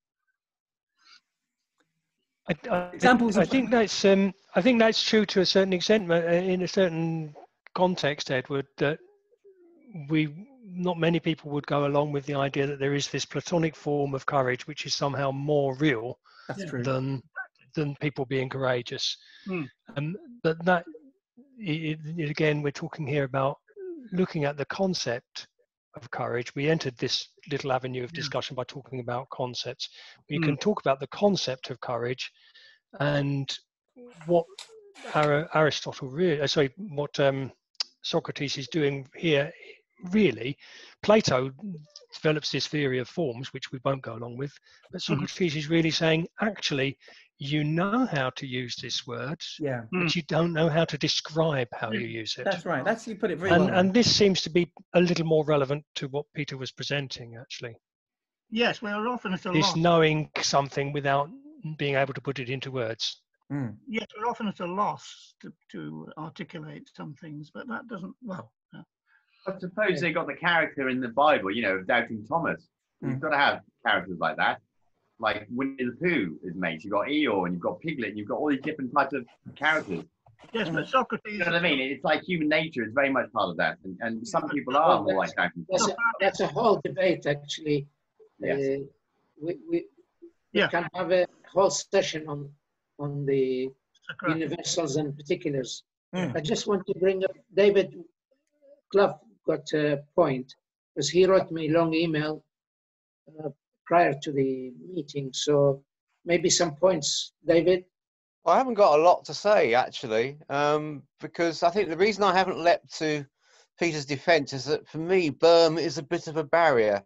I don't Mm. find him easy, Mhm. um, and that affects you and Barbara as well, actually. Um, but I mean, I mean, the general thing was I was just trying to position where Peter was coming from within the Coleridge debate. Really, that was my my main reason for the comments I made at the beginning of the meeting and one or two others at the beginning. But I knew it would be difficult because I'm not fully engaged with the sort of hammer and tongs debate going on here, really. I mean, I am more Kantian in the end mm-hmm. because people like Ricoeur are more Kantian, I suppose. But there were touches of Ricoeur, Berglin, William Desmond, all sorts of thinkers who were certainly in this sort of area. Um, Mhm. So I'm interested in what Peter's been saying throughout the meeting. I think that's Ver- my I think, didn't he talk about being broken?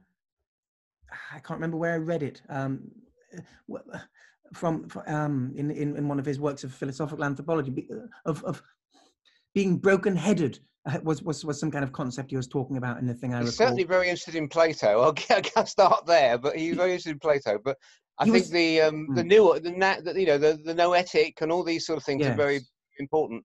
Um, uh, Mhm. But really, I don't have a I don't really have a question because I can't go quite all the way with you. But I am is Mhm. very interested. I'd be interested to know where you differ, for example, with Tim Fulford or with the other scholars I mentioned at the beginning, because there- there's presumably are And Mhm. Hedley's work that I've I've read three of his books, but but they're quite the one that you've listed is 2000. It's in historical terms, it's quite ancient. Well, not ancient, but it's kind of it's the Yeah. millennial sort of book, isn't it? Um, Mhm. And I wondered whether you felt even with these figures they were, if you like, trapped like me in a slightly more rationalistic position than you might want. to Headley. Certainly isn't. He's one of the few people um, I know who is a, a thoroughgoing Neoplatonist.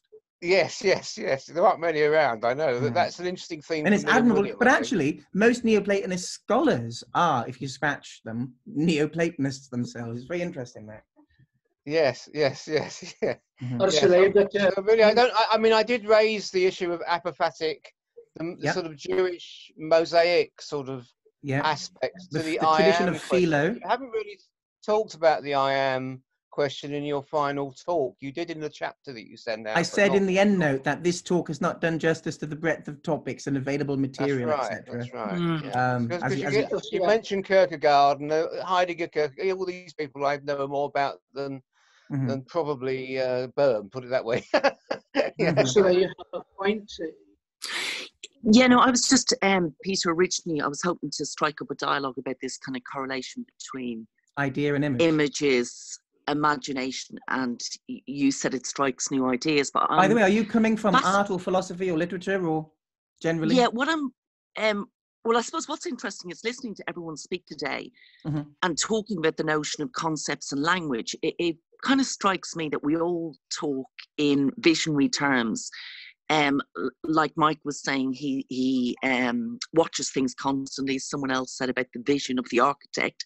You said about Socrates was trying to show us something, Mm. and and I wonder, you know, in this whole notion of we're talking about definitions, like the definition of imagination, Mm. how Helen Keller, who never has seen in her life, Mhm. uh, was still able to write a book about imagination, but would would never have seen images Mm, mm. um, to give her these kind of correlations or new ideas. So no, it's just that's what I was kind of just thinking aloud. I mean, it's a different Mhm. debate for a different day, but I suppose uh, I'm fascinated in the terms of our uh, understanding that we're constantly pulling on visual language.